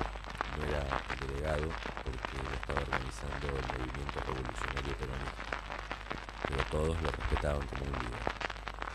Después de dos días de discusiones, el primer congreso del movimiento de la juventud peronista sacó una declaración que decía, entre otras cosas, que los jóvenes peronistas se habían reunido con el sano y patriótico fin de servir a la patria con sacrificio y desinterés, en la convicción y certeza de hacerlo mediante la revolución peronista y dando cumplimiento a las expresas directivas del conductor del movimiento, único e indiscutido líder de los trabajadores, general Juan Domingo Perón, portando la inquietud de los compañeros de lucha de sus respectivas zonas, a los que juran interpretar con lealtad y servir con desinterés a los efectos de consolidar la unidad de acción, fortificar su organización y efectivizar toda tarea de lucha por la liberación de la patria. Y más adelante, la nueva etapa que se abre determina la hora cero de la liberación nacional y la juventud peronista, consciente de la responsabilidad de impulsar estas formulaciones para concretarlas en el plano orgánico. Insta a todos los peronistas a la lucha revolucionaria total hasta sus últimas consecuencias. Y pedían, entre otros puntos, en lo político, 1. Derogación de todas las leyes represivas. 2 amplia amnistía para todos los presos políticos y sociales. 3. Retorno inmediato e incondicional del general Juan Perón a la patria. 4. Restitución al pueblo de los restos de Eva Perón. En lo económico-social, 1. Implantación del control de Estado sobre toda la producción y el comercio exterior. 2. Organización del sistema bancario nacionalizándolo y poniéndolo al servicio del pueblo. 3. Expropiación total de los latifundios y bienes de la oligarquía terrateniente sin indemnización. Premisas estas que serán cumplidas cuando el peronismo vuelva al poder para felicidad del pueblo argentino. Y así sucesivamente. El plan estaba bien organizado. El 10 de noviembre, Embar iba a estar en la quinta de Puerto de Hierro de Madrid, enviado por la juventud a ver a Perón y entregarle las conclusiones del Congreso. Entonces le iba a decir al general que al otro día, aniversario de la muerte del Chacho Peñalosa, sus compañeros volarían monumentos de Sarmiento en todo el país. Era una manera de demostrarle que la juventud tenía poder de acción. Perón le iba a decir, bueno, todos me dicen lo mismo, pero el día siguiente iba a ver que de verdad habían volado todo, así que tendría que darse cuenta de que los muchachos estaban organizados de verdad. El plan estaba bien pensado y lo habían armado en cuatro o cinco días. El Congreso de Valle Hermoso había terminado a fines de octubre y Embal, con el mandato de la juventud, tuvo que ponerse a buscar la plata para el pasaje a Madrid. Primero fue a hablar con la conducción del movimiento, Cafiero, Iturbe y Sal. Le dijeron que sí, que se lo pagaban, como no, pero que la plata iba a tardar un par de semanas. Él tenía que viajar ya mismo, porque si no todo el plan se desmoronaba y se lo comentó su padre. Mira papá, me van a pagar todo, pero por el momento la plata no está. Pues podría sacar un crédito y después te voy dando la plata todos los meses. Podría ser, pero ¿estás seguro que ellos te van a dar? Sí, sí papá, me prometieron. Don Khaled entonces firmó 18 pagarés en una oficina de Air France en la calle Florida. Después, durante un año y medio, cada mes sería una lucha para que el movimiento le pagara la cuota. A veces, cuando las tensiones políticas entre jóvenes y viejos se erizaban, no había plata. Ember el Cadri llegó a Madrid el 8 de noviembre. Estaba deslumbrado. No paraba de decir que cinco meses antes estaba en el canal de Santa Rosa ahora ahí, a punto de ver al general. No lo podía creer. Tenía 22 años y le parecía que el mundo se le rendía sin una sola queja. Embar viajó con otros tres, un tal Martín, sindicalista de la resistencia gremio de los jaboneros, un coronel Ortega, muy peronista y de esos que siempre estaban preparando alzamientos, y el Pelusa Bertelli, dirigente de la resistencia de Rosario, un hombre grande, muy nacionalista, el que se contaba que había estado en cantidad de expropiaciones, daños y otros hechos. Omar se sentía bien acompañado, eran compañeros que habían probado su peronismo en las calles y cárceles en acción. Podía haber algunas diferencias de criterios o de ideas, pero en ese momento parecían secundarias. En el hotel donde se instalaron cerca de la Gran Vía, los esperaba la noticia de que Perón los iba a recibir a las 9 de la mañana siguiente. Cuando le dio la mano en ese escritorio de la casa de Puerto de Hierro donde el general solía recibir a sus visitas, Embar se quedó mudo. Perón tardó muy poco en dejar los saludos de cortesía y empezar a echar peste sobre Villalón. No me hablen más de Villalón, porque ese Villalón hizo todo lo contrario de lo que yo le había dicho. Le dije que no fuera a Montevideo y el primer lugar que va es a Montevideo. Montevideo es como Suiza en la guerra mundial, la cueva de todos los servicios. Todos los servicios, no falta ni uno. Ahora están todos enterados y esto abortó y no me hablen más. Ni, ni quiero hablar más de él, ni me cuenten. El general estaba cabrero. Después les dijo que la táctica de la conducción había cambiado. Ya no se trataba de ir al enfrentamiento, sino de aprovechar el gobierno democrático de Ilía para tratar de volver al país. Les habló de la operación Retorno que estaba preparando para el año 64 y que entonces era, un gran secreto. Les pidió que no lo comentaran con nadie, pero que dentro de ese marco tranquilizaran los ánimos. Él quería volver, le dijo varias veces, como prenda de paz y unidad entre los argentinos. Embar seguía callado, no podía creer que ese hombre por el que estaba dispuesto a dar la vida estuviera ahí hablándoles. Era raro que Perón fuera tan parecido a sí mismo, ese personaje de tantas fotos y carteles. Era raro que tuviera la misma sonrisa cachadora, los ojitos achinados, peligrosos, el pelo renegrido y la risa un poco floja, una mandíbula caída que des desaparecía en un segundo cuando el hombre quería. Era raro que Perón fuera tan Perón y que estuviera hablándole ahí, sentado en su escritorio, pero lo que le decía era lo contrario de lo que había ido a escuchar. No terminaba de imaginarse que les iba a transmitir a sus compañeros. Había llegado para explicar al general sus proyectos de agitación, sus intenciones revolucionarias, y se tendría que volver con las órdenes de tranquilizarse y aceptar el juego institucional. El encuentro fue breve, porque Perón tenía otros compromisos y quedaron en volver a la mañana siguiente. Cuando salieron los demás, le tomaban el pelo. Che, te comieron la lengua los ratones. No, lo que pasa es que estoy muy emocionado. Sí, claro, pero tenés que hablar. Sí, seguro. Mañana, mañana. Después en un café de la Gran Vía, los visitantes discutían las novedades. El aire olía a churros rancios. Embar estaba preocupado y les preguntaba cómo podía hacer para convencerlo al general de que no cambiara la línea tan de golpe. No, no, si Perón ya dijo que él, yo soy disciplinado, él dio las directivas. Ustedes lo escucharon igual que yo. Tenemos que cumplir las directivas. No vamos ahora a discutir las directivas. Pero el coronel, no, no, no. El general lo dice. Aceptaba el coronel. Martínez, sindicalista, no estaba de acuerdo. Tiene razón, Empa. ¿Qué vamos a decir a la vuelta? Venimos con una postura revolucionaria y ahora nos volvemos con una postura pacifista, domesticados. ¿Qué vamos a decirle a los compañeros? Van a creer que nos vendimos. El coronel insistía con la verticalidad. Bertelli participaba poco. Embar seguía preocupado. Al final les anunció que iba a intentar algo. Mañana yo voy a hablar. Vamos a ver qué pasa. El 9 de noviembre llegaron más temprano. Embar había estado pensando muy bien lo que tenía que decir y arrancó de movida. Mire general, ese barquito que tiene usted lo hizo de Roberto, en el pabellón 23 de la cárcel de Caseros. Me pone, me pone muy contento verlo aquí porque simboliza nuestro espíritu de lucha. El general miraba complacido un velero tallado en madera con el nombre La Argentina y una dedicatoria pirograbada que decía a Juan Perón, el mejor piloto de tormentas, mientras Cacho respiraba hondo antes de seguir. Y en la juventud peronista estamos en una postura de lucha, no porque seamos violentos ni nada por el estilo, sino porque vemos que durante tanto tiempo nos han engañado. Frondizi subió con nuestros votos y después nos traicionó. Los militares nos han prometido golpes y esto y lo otro, y un día que estaba nublado, otro que mi mujer le duele la cabeza, otro día se hizo el golpe pero no sirvió para nada. Nosotros queremos organizarnos como se organizó Cuba, Argelia. Nosotros también queremos luchar. Usted mismo nos enseñó que hay que luchar. El enemigo se nos ha mostrado que el único idioma que entiende es el de la violencia. Y creemos que con cambiar la dirigente, a dirigentes y sacar a Villalón y poner otro, o mejor, un conjunto, un grupo, un Estado Mayor, eso tendría que salir adelante, porque nosotros lo único que cuestionamos. Emma notaba que Perón quería interrumpirlo, pero seguía rápido, sin parar. Estaba un poco asombrado de su propia osadía, pero había pensado cada palabra detenidamente.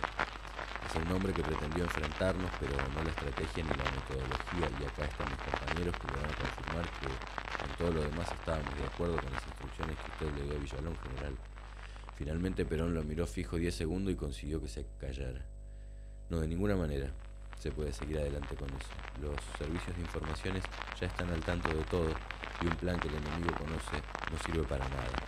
Hay que hacer todo de nuevo. Hemos perdido el factor sorpresa. Ellos ya saben todo lo que íbamos a hacer porque este inconsciente se instaló en Montevideo. Yo le dije que no fuera a Montevideo, que era preferible se instalara en Rosario o en Avellaneda. De todas formas, ese es un problema del pasado.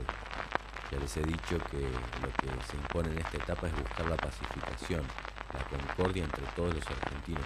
Mi retorno no tiene sentido si no es una prenda de paz para la patria. Embargo, lo escuchaba consternado. Además, uno de los perritos bandidos se había enseñado con él y le mordisqueaba los tobillos. General, yo no le puedo decir esto a mis compañeros. ¿Cómo vamos a hablar de paz con los torturadores, con los asesinos? Entonces cuando Perón se hartó, frunció el ceño para que se viera que lo estaban frunciendo. Estuvo a punto de golpear su escritorio con la mano y después muy suavecito le dijo, muchacho, sé que usted sabe tanto de revoluciones, hágala usted. Embar le contestó demasiado rápido, parecía que se había dejado llevar por la calentura. Mire, general, si yo supiera cómo hacer la revolución, la haría para mí. Los otros tres lo miraron aterrados, pero lo esperaba agazapado. Pero es con usted que la tenemos que hacer, general. Sin usted no la podemos hacer. porque usted es el único capaz de guiarnos en esta empresa. Es el mejor piloto de tormenta, como dice el barquito. Por eso estamos acá y por eso estamos dispuestos a dar todo por usted. El general se quedó un momento callado y después se rió, despacio, sin muchas ganas y murmuró algo acerca de que le gustaba que sus muchachos fueran así, enérgicos, dispuestos a llevarse el mundo por delante. Todos los demás se rieron también. Martín, el sindicalista, trató de recomponer la situación. Bueno, claro, general, tiene razón, la pacificación, porque así le probamos a los gorilas que nosotros tenemos voluntad de unir al pueblo argentino, que nosotros somos más patriotas que ellos. El clima se fue distendiendo.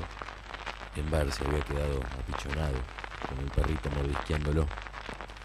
Poco después entró Isabelita para recordarle a su marido que los estaban esperando en alguna parte. Isabelita era joven y usaba un peinado muy complejo. El general tenía que irse y Embar todavía no le había dicho lo que venía a decirle. Tosió y la voz le salió desfallecida. General, nosotros, como pensamos que muchos grupos vendrán a decirle que tienen gente en todo el país, queríamos mostrarle que estamos realmente organizados, entonces habíamos pensado que la mejor carta de presentación de nuestra organización era hacer una serie de atentados. El general lo cortó en seco. No. ¿Qué van a hacer? No, nada, general unos petardos, unas acciones simbólicas de volar algunos bustos de Sarmiento para recordar el aniversario de la muerte del Chacho Peñalosa y señalar que Sarmiento fue el responsable de la muerte del Chacho, que nosotros nos sentimos identificados y continuadores de esos caudillos del interior. No, no, no, párelo, no hagan eso. No se da cuenta de que yo estoy preparando mi vuelta por la paz y la unidad de todos los argentinos. Tiene que pararlo, llame por teléfono, arréglelo de alguna manera. Pero general, ¿cómo? Ahora ya está todo en marcha, imagínese en todo el país. No, no, no, lo tiene que parar como sea. El perrito bandido seguía mordiéndole los tobillos. Enfrascado en la discusión, sin darse cuenta, Embar lo agarró del cogote y lo revolvió un metro y medio. El perrito aterrizó con un chillido y desparramó, desparramado de patas en la alfombra. El general lo miró casi con bronca. En el taxi sus compañeros le reprocharon su falta de tacto y su insistencia con el general. Estás loco, lo hiciste calentar al viejo, sos un boludo. ¿Y qué? ¿No estábamos de acuerdo todos? ¿No habíamos dicho que íbamos a decir esto y después me dejaron solo? No, lo que pasa es que vos tenés que comprender, porque el general tiene razón en lo que dice. Él no dijo que fuera definitivo, pero este año hay que parar porque él va a volver por la pacificación. Después si no vuelve, entonces... Pero al final, ¿qué vamos a hacer? ¿Qué les voy a decir a los compañeros? Apenas llegaron al centro, Embar se fue a la telefónica, ahí mismo en la Gran Vía, a tratar de hablar con Luis Ansoulet. Luisito, el viejo me cagó a pedos, hay que levantar todo. ¿Cómo? ¿Pero vos estás mamado? No, pero el viejo dijo que hay que parar. Pero carajo, ¿cómo te dijo eso? Bueno, no te puedo explicar, pero me lo dijo. ¿Qué hacemos? El viejo te convenció también a vos, los convence a todos. ¿Qué hacemos, Luis? No lo vamos a poder parar. ¿Y qué hacemos? Decirle que voy a hacer todo lo posible, pero no creo que me den bola, no, no paramos un carajo. Y bueno, metele, te voy a decir que no pude hablar con ustedes. El 11 de noviembre de 1963, en varias ciudades argentinas, saltaron bustos de Sarmiento por los aires. En Viedma, la noble testa acabó en el río. En el Nacional Sarmiento de la capital, un par de desaforados con dulce de leche y barra a la cabeza lo atacaron al paragolpes, lo ataron al paragolpes de un Peugeot 403, lo arrancaron y lo arrastraron por la calle Libertad. En San Juan pintaron la pared de la casa natal con unas tacuaras y lo firmaron como Juventud Comunista. En Bar se pasó todo el día 12 esperando los diarios argentinos. A la noche en Cibeles consiguió La Nación. Hacía un frío de perros. En la primera página un artículo anunciaba graves atentados contra Sarmiento en todo el país y más allá hablaba de la barbarie y la incultura ya habituales en ciertos grupos políticos. Embar no sabía si alegrarse o preocuparse más todavía. El 13, Embar el Cadri y sus tres compañeros tenían que volver a Puerto de Hierro a despedirse del general antes de volar para la Argentina. Mientras hacían antesala los atendió un secretario de Perón, un tal Aljarbe, que también era hijo de libaneses y había simpatizado con Embar. Aljarbe, el general leyó La Nación, sí, ¿sabe lo que me dijo? Me dijo, léamelo de nuevo, léamelo de nuevo. Dos veces se lo tuve que leer. Lo veía contento. Cuando entraron, Embar jugó el humilde. General, lo que se pudo parar se paró, pero algunas cosas, sí, ya lo vi, ya lo vi. Perón estaba afable, simpaticón. Tenía en brazos a uno de los perritos y se le habían reducido a las ojeras. Nosotros, general, queremos que sepa que somos sus soldados, de manera que vamos a hacer lo que usted nos dice, pero nos va a costar convencer a nuestros compañeros. Sí, lo entiendo, pero yo no quiero que corran riesgos inútiles. Por ahora, no hagan más nada. Me doy cuenta de que la representatividad que ustedes tienen... Entonces Perón empezó a hablar de lo que era la conducción, todos tenían que obedecer a la conducción, que si bien cada peronista llevaba su bastón de mariscal, igual había un dispositivo, él manejaba todo el dispositivo, que si cada cual hiciera lo que quisiera sería un caos y nunca se llegaría a ningún resultado. Cuando terminó su lección sacó una carta de cuatro carillas manuscritas y se la atendió a Embar. La carta estaba dirigida al movimiento de la juventud peronista y abajo decía Don Embar el Cadre. En estos días las cartas de Perón valían su peso en oro en las internas del movimiento. La carta era un privilegio, pero Embar se preocupó. General, le agradezco mucho, una carta suya para nosotros es invalorable, pero nosotros no queremos personalizar. Si yo la llevo así, con mi nombre, los compañeros van a creer que yo vine a buscar una carta, una carta suya para avalarme. Nosotros queremos tener una conducción colectiva, no caudillos. En el movimiento siempre hemos tenido problemas con los pequeños caudillos. Pero no me hable de caudillos, ojalá tuviéramos caudillos, le gritó Perón. Decididamente, Andar el Cadri no conseguía decir lo que Perón quería escuchar el general estaba casi exaltado. Lo que nos faltan son caudillos. Si tuviéramos buenos caudillos, yo ya habría vuelto al país. Lo que pasa es que todos lo esperan de mí y no hacen nada. Ojalá tuviéramos caudillos. Tendríamos que tener 20 caudillos. Entonces me hubieran echado y me estarían esperando todo de mí y estarían haciendo las cosas que tendrían que hacer.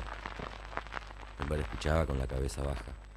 Martín, para tratar de desviar otra vez la atención, Preguntó si el general creía que los militares y los radicales lo iban a dejar volver en son de paz.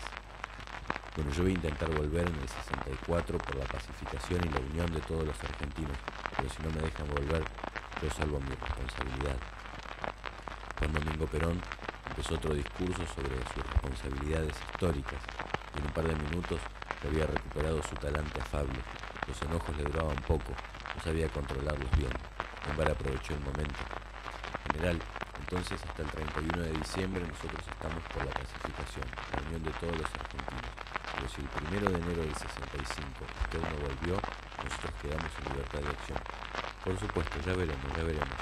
Pero no se preocupe, ya va a ver cómo el año que viene me tienen en Buenos Aires. Había envuelto la calma y la concordia, Perón agarró un frasquito del escritorio y borró con aplicación la línea que decía en del Cadre. Después agitó en el aire la hoja para que se secara. Así no va a tener problemas de personalismo. A Embar le pareció que el general era una especie de padre de familia que te pega, te sermonea y después te premia. Cuando llegó a Buenos Aires, sus compañeros lo recibieron con bastante escepticismo. Lo habían mandado con una idea y lo veían volver con otra totalmente distinta y que además reducía mucho sus posibilidades de participación y abría el juego a las estructuras más institucionales. Embar estaba un poco decepcionado, pero por otro lado suponía que el general le había dado las órdenes correctas. Él era la conducción estratégica, el que tenía todos los datos, las llaves de todo, y además era muy difícil sustraerse al recuerdo de su magnetismo. Cuando sus compañeros se ponían muy duros, Embar trataba de tranquilizarlos con la cuestión del plazo.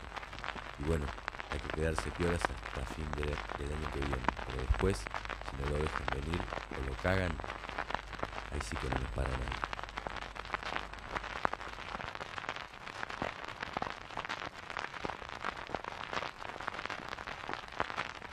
La idea del avión negro se le había ocurrido a Edgardo Lombardi, que era bueno para esas cosas, era simple. Lo llevaban desarmado en el taxiflet de un compañero, lo armaban rápido en la Plaza de Mayo y para cuando llegaba la policía el fotógrafo de crónica ya iba a tener la foto del avión de 6 metros con el cartel que decía en este avión vuelve Perón para acabar con la explotación.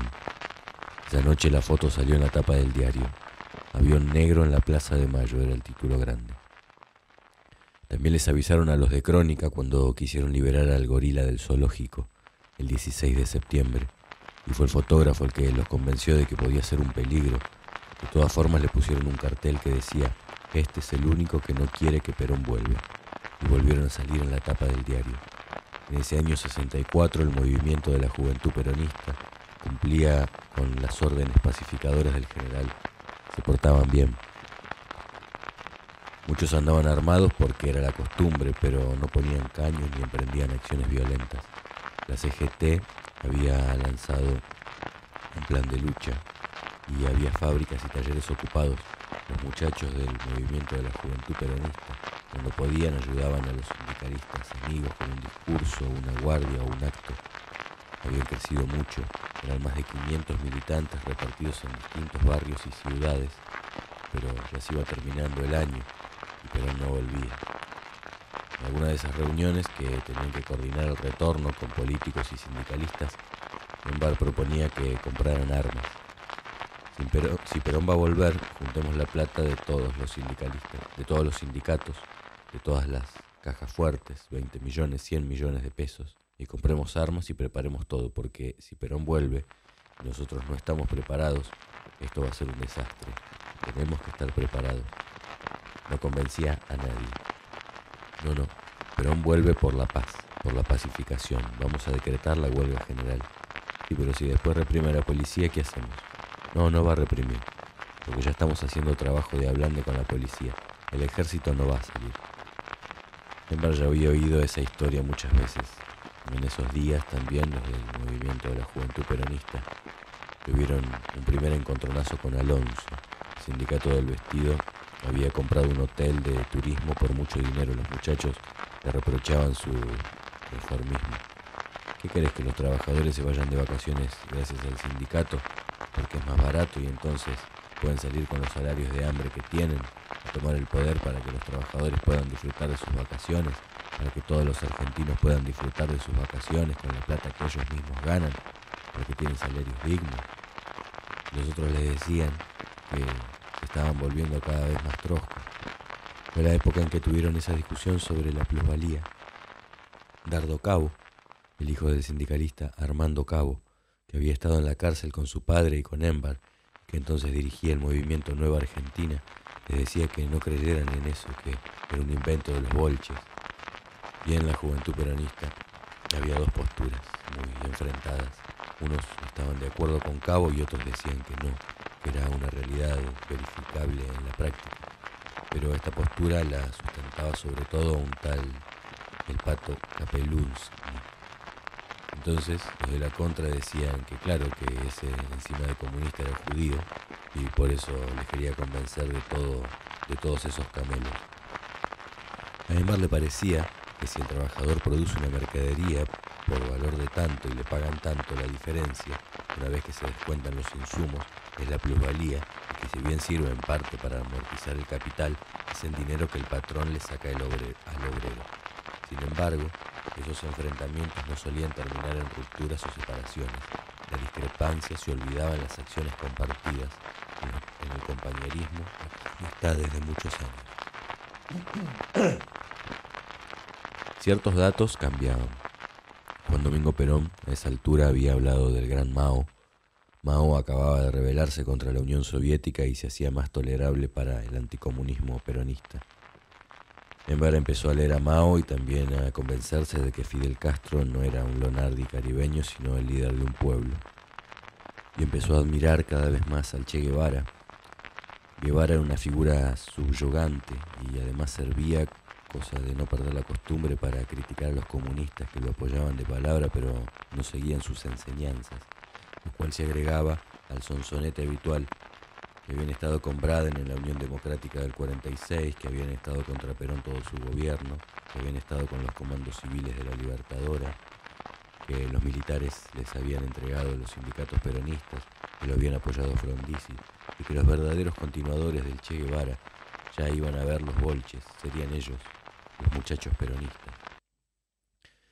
El 64 se acababa y Perón no volvía. El movimiento de la juventud peronista decidió convocar un congreso para el 30 de noviembre en Salsipuedes, Córdoba. Consiguieron un hotel del sindicato de telegrafistas, uno de esos hoteles que solían criticar y reunieron 60 delegados de todo el país. El plazo que Perón les había dado estaba por vencer y el Congreso intentaba sobre todo pensar y preparar la posibilidad de acciones armadas para el año siguiente. La estrategia de la paz, decían, que había fallado. Había un hombre que habían conocido poco antes, que los tenía bastante fascinados, Ciro Ahumada. Ahumada era un ex capitán del ejército y había intervenido en un famoso robo de explosivos en una cantera de Mendoza en el 58. Después decía se había preparado en Argelia y en Cuba. Más tarde empezarían a circular versiones que lo acusaban de ser de los servicios o incluso de la CIA, pero entonces el hombre tenía aureola de revolucionario. En el Congreso, Ahumada les dio las primeras clases sobre Sun Tse, Clausewitz o Lidl-Hart, un militar británico que explicaba cómo era posible hacer mucho daño con pequeños grupos que atacan las líneas interiores del enemigo. Ahumada les hablaba de guerra popular, de guerra integral, de explosivos, de tácticas guerrilleras, y cada vez más les parecía que no había otra solución, que los militares y los gorilas no iban a entregar el poder, no se lo sacaban por la fuerza. En ello andaban cuando se enteraron que Perón estaba detenido en el aeropuerto de Río de Janeiro.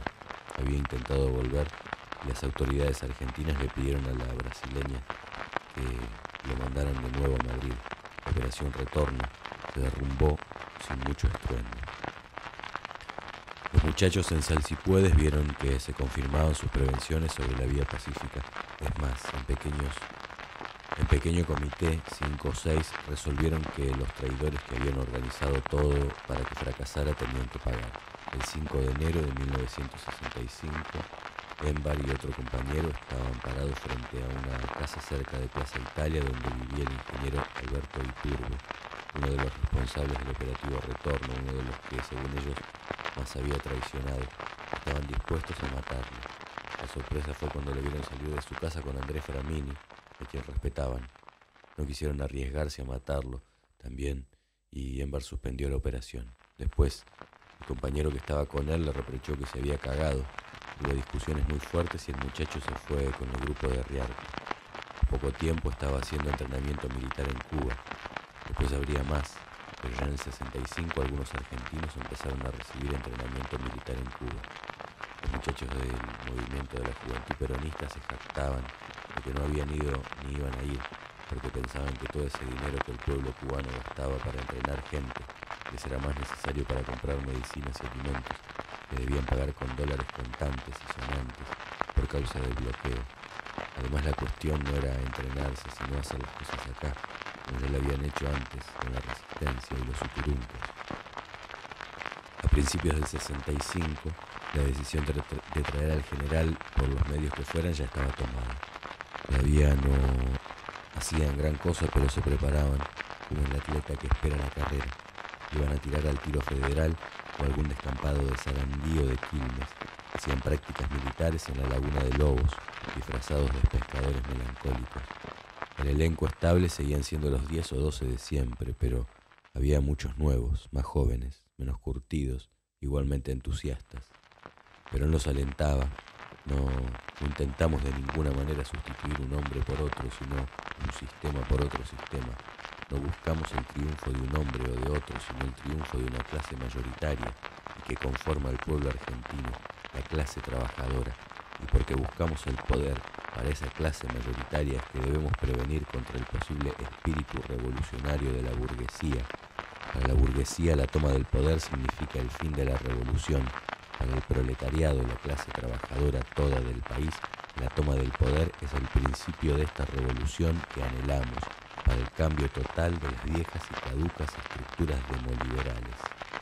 Es fundamental que nuestros jóvenes comprendan que deben tener siempre presente en la lucha y en la preparación de la organización es imposible la coexistencia pacífica entre las clases oprimidas y opresoras hemos planteado la cuestión fundamental de triunfar sobre los explotadores, aun si ellos están infiltrados en nuestro propio movimiento. Les escribió en una carta de octubre del 65 que había traído un muchacho del movimiento de la juventud peronista que habían mandado a verlo.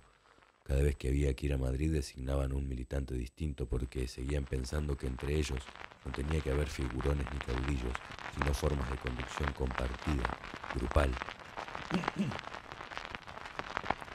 El movimiento de la juventud peronista tenía un pequeño arsenal guardado en una casa de donde nadie podía sacar un arma si no explicaba para qué era. En general se solían usar para defenderse en las reyertas con los grupos de Brito Lima o de Dardo Cabo, o al menos para no ir armas. las reuniones con esos compañeros peronistas porque a pesar de todas las promesas de unidad y juramentos de acatar las directivas de Perón, los muchachos siempre estaban a punto de enfrentarse con el grupo de Brito Lima o el de Dardo Cabo, donde un tal Giovenco asusaba el conflicto hasta que lo echaron. Alguna vez también expropiaron, como decían, algún dinero para pagar el papel para imprimir trinchera o un par de fierros.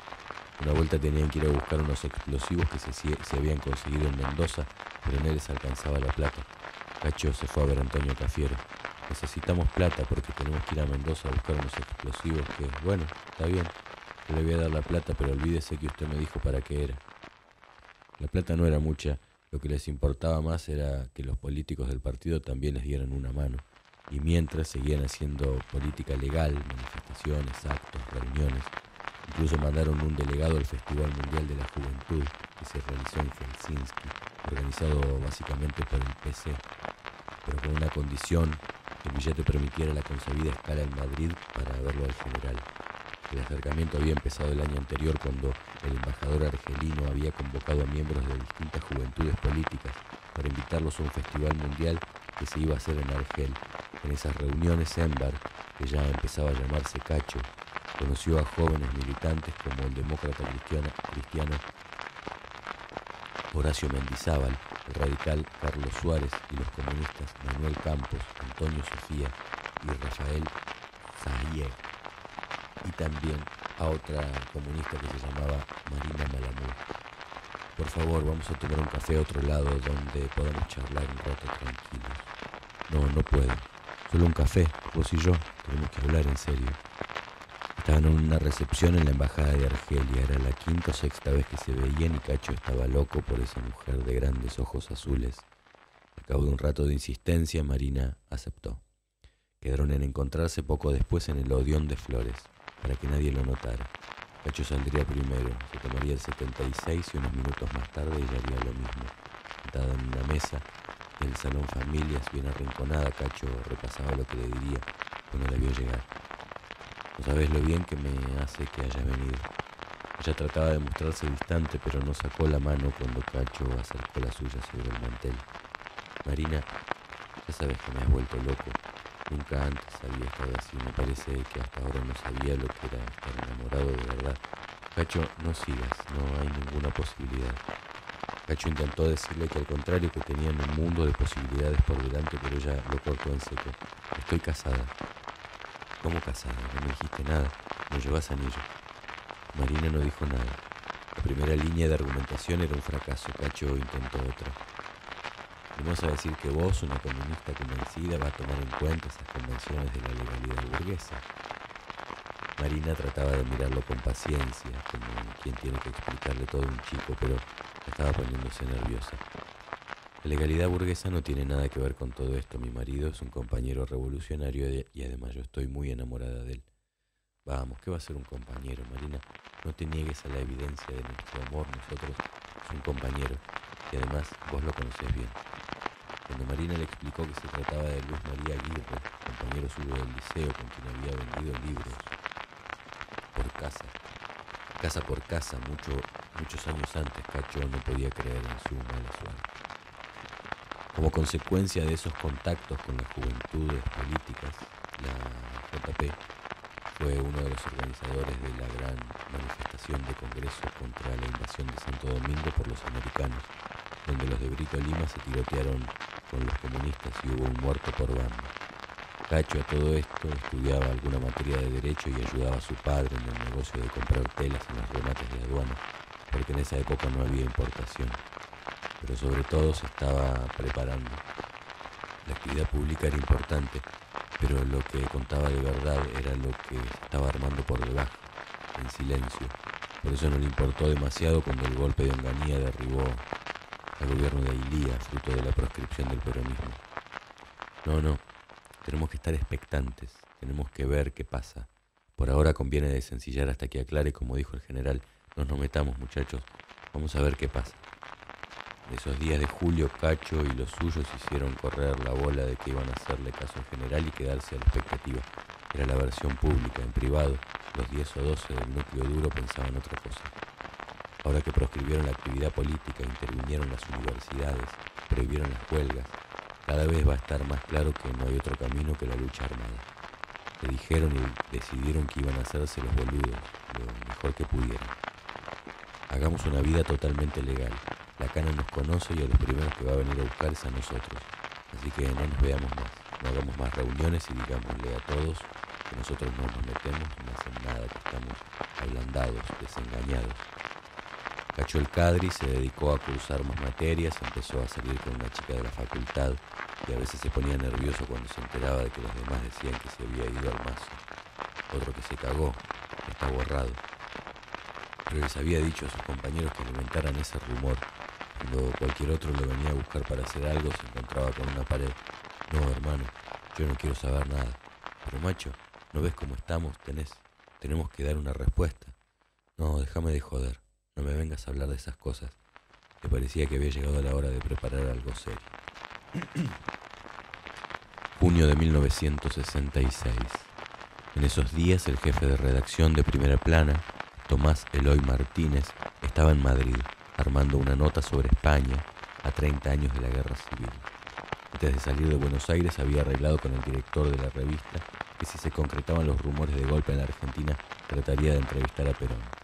No era fácil y sobre todo podía tener consecuencias. Semanas antes, Pinky y Cacho Castaña lo habían hecho y a su vuelta fueron molestados por la policía.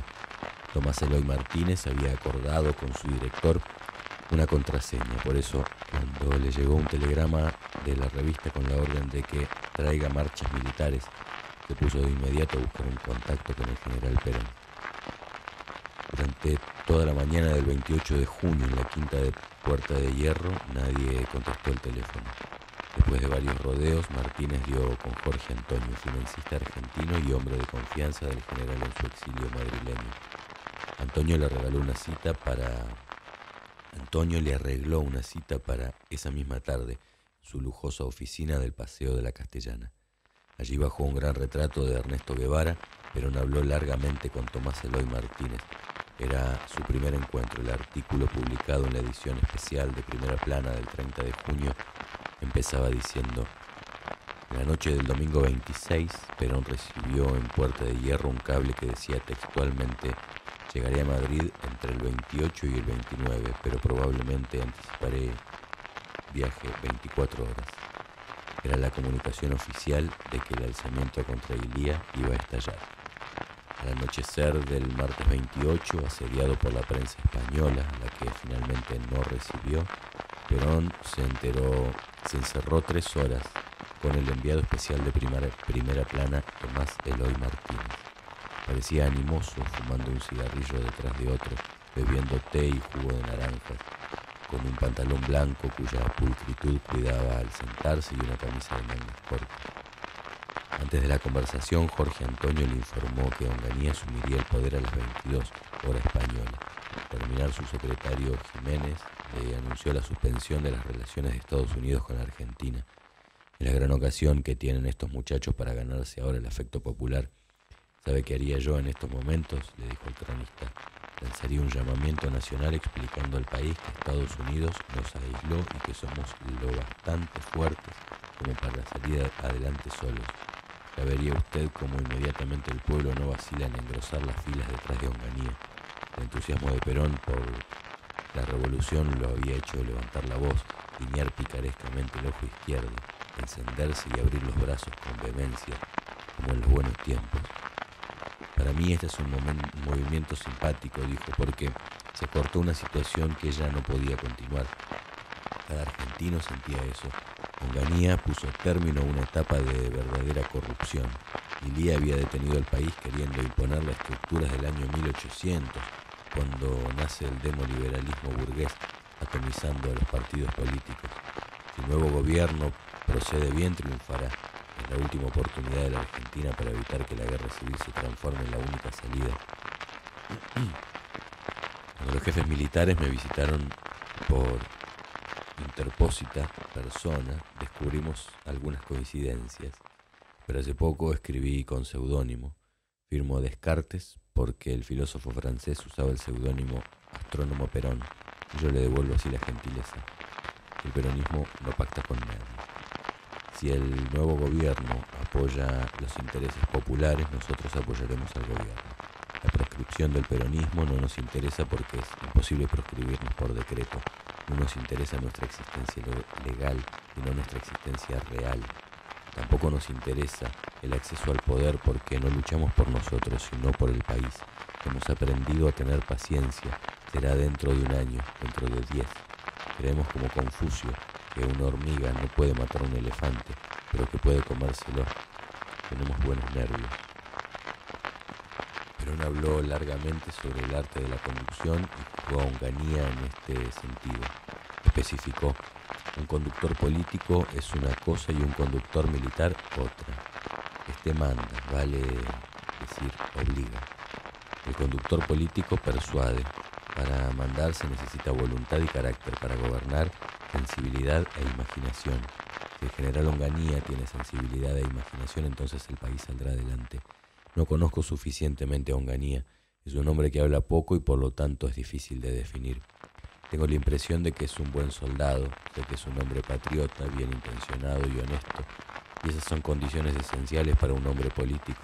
Reconozco calidad a Onganía como hombre de mando en el ejército. Si Onganía se comportase en el terreno político como en el terreno militar, el país podrá andar bien. Simpatizo con el movimiento militar porque el nuevo gobierno puso coto a una situación catastrófica. Como Argentina hubiera apoyado a todo hombre que pusiera fin a la corrupción del gobierno Ilía. La corrupción, como el pescado, empezó por la cabeza. Ilía usó fraudes, trampas, proscripciones, interpretó que la política era juego con ventaja. Y en política, como en la vida, todo jugador huyero va a parar a Villa Devoto. El hombre que acabó con eso, por supuesto, tiene que serme simpático, pero no sé si también lo será en el futuro. El defecto del actual gobierno es no saber exactamente lo que quiere, pero la cosa va a ser cuando desate el paquete, porque ellos tampoco saben qué hay allí.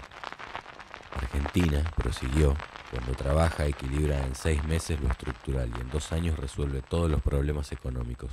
En economía no hay milagros, en economía la misión fundamental del gobierno es dar posibilidad a la gente para que se realice. El gobierno anterior fracasó porque intentó gobernar sin concurso popular. Pero para eso hace falta grandeza, olvido de las pasiones. Yo ya estoy más allá del bien y del mal. Fui todo lo que se puede ser en mi país, por eso puedo hablar descarnadamente. No tengo interés en volver a la Argentina para ocupar cargos políticos. Quiero, claro, volver a la patria, pero sin violencias. Llegó un momento en que los argentinos debemos ponerse, deben ponerse de acuerdo. Si no, habrá llegado el momento de tomar las armas y pelear.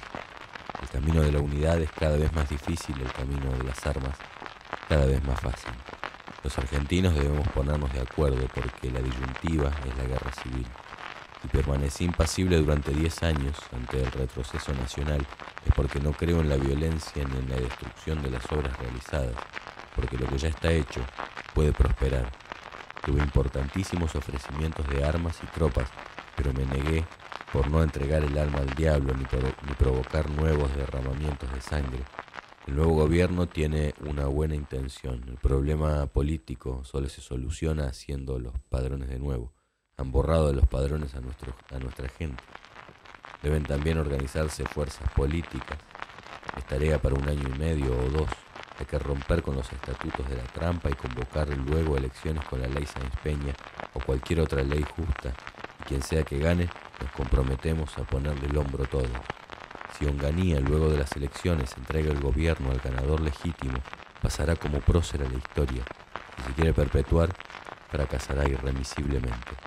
Pero el que haga bien al país contará con nuestro apoyo. El movimiento peronista no podrá ser destruido por proscripciones ni decretos. Los gorilas intentaron la destrucción por la violencia, Frondizi por la integración y Lía por la disociación. Los tres fracasaron. La organización del peronismo tiene como base de adoctrinamiento la búsqueda del bienestar nacional. Luego Perón adelantó el mensaje enviado a través del periódico Retorno, que se publicará la semana próxima. Allí recuerda uno de los hombres más sagaces de la historia política argentina, el general Roca, decía que para que los radicales se hundieran bastaba dejarlos gobernar. Alzándose de la pequeña silla, Perón apagó el cigarrillo y vaticinó, esta es nuestra última oportunidad y por eso necesitamos que el nuevo gobierno tenga grandeza. En caso contrario podemos desembocar en una guerra civil y en esa guerra tendremos que entrar todos. Dios quiera iluminar a Onganía y sus muchachos y que estos muchachos acierten a tomar la mano que la fortuna les está tendiendo. Afuera, la noche de pesado calor había caído sobre Madrid y Perón, acompañado por Jorge Antonio, hizo atisbar la entrada de la casa del Paseo de la Castellana y sorteando la vigilancia del periodista se escabulló en un automóvil verde. A pocos metros, en la embajada argentina, Gauna acababa de anunciar que si el gobierno de Ilía había cesado en su misión, la del representante argentino también llegaba a su fin. En cuanto terminó su entrevista, Tomás Eloy Martínez buscó la forma de transmitirla a Buenos Aires con la excitación del periodista que sabe que tiene algo muy fuerte. El general le preguntó cómo iba a ser y el periodista le contestó que mandaría un telegrama, pero le dijo que había métodos más modernos.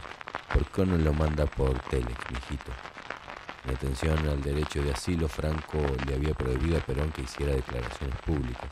El envío de un telegrama sería rápidamente detectado por el gobierno español, así que le ofreció a Martínez las direcciones de seis empresas amigas le prestarían su telex.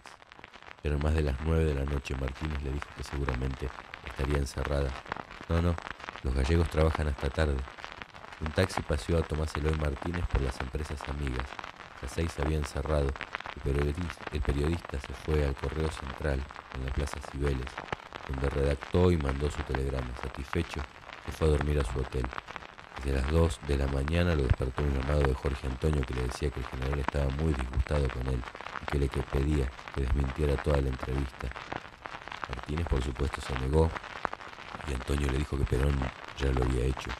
La policía franquista que había detectado el artículo en el correo se lo había pasado al diario franquista Arriba, que antes de publicarla había llamado al general Perón, dijo que era todo falso. Martínez terminó de despejarse y decidió convocar ahí mismo a los, periodistas de guardia de las grandes agencias noticiosas para confirmar la entrevista haciéndoles escuchar fragmentos de sus grabaciones.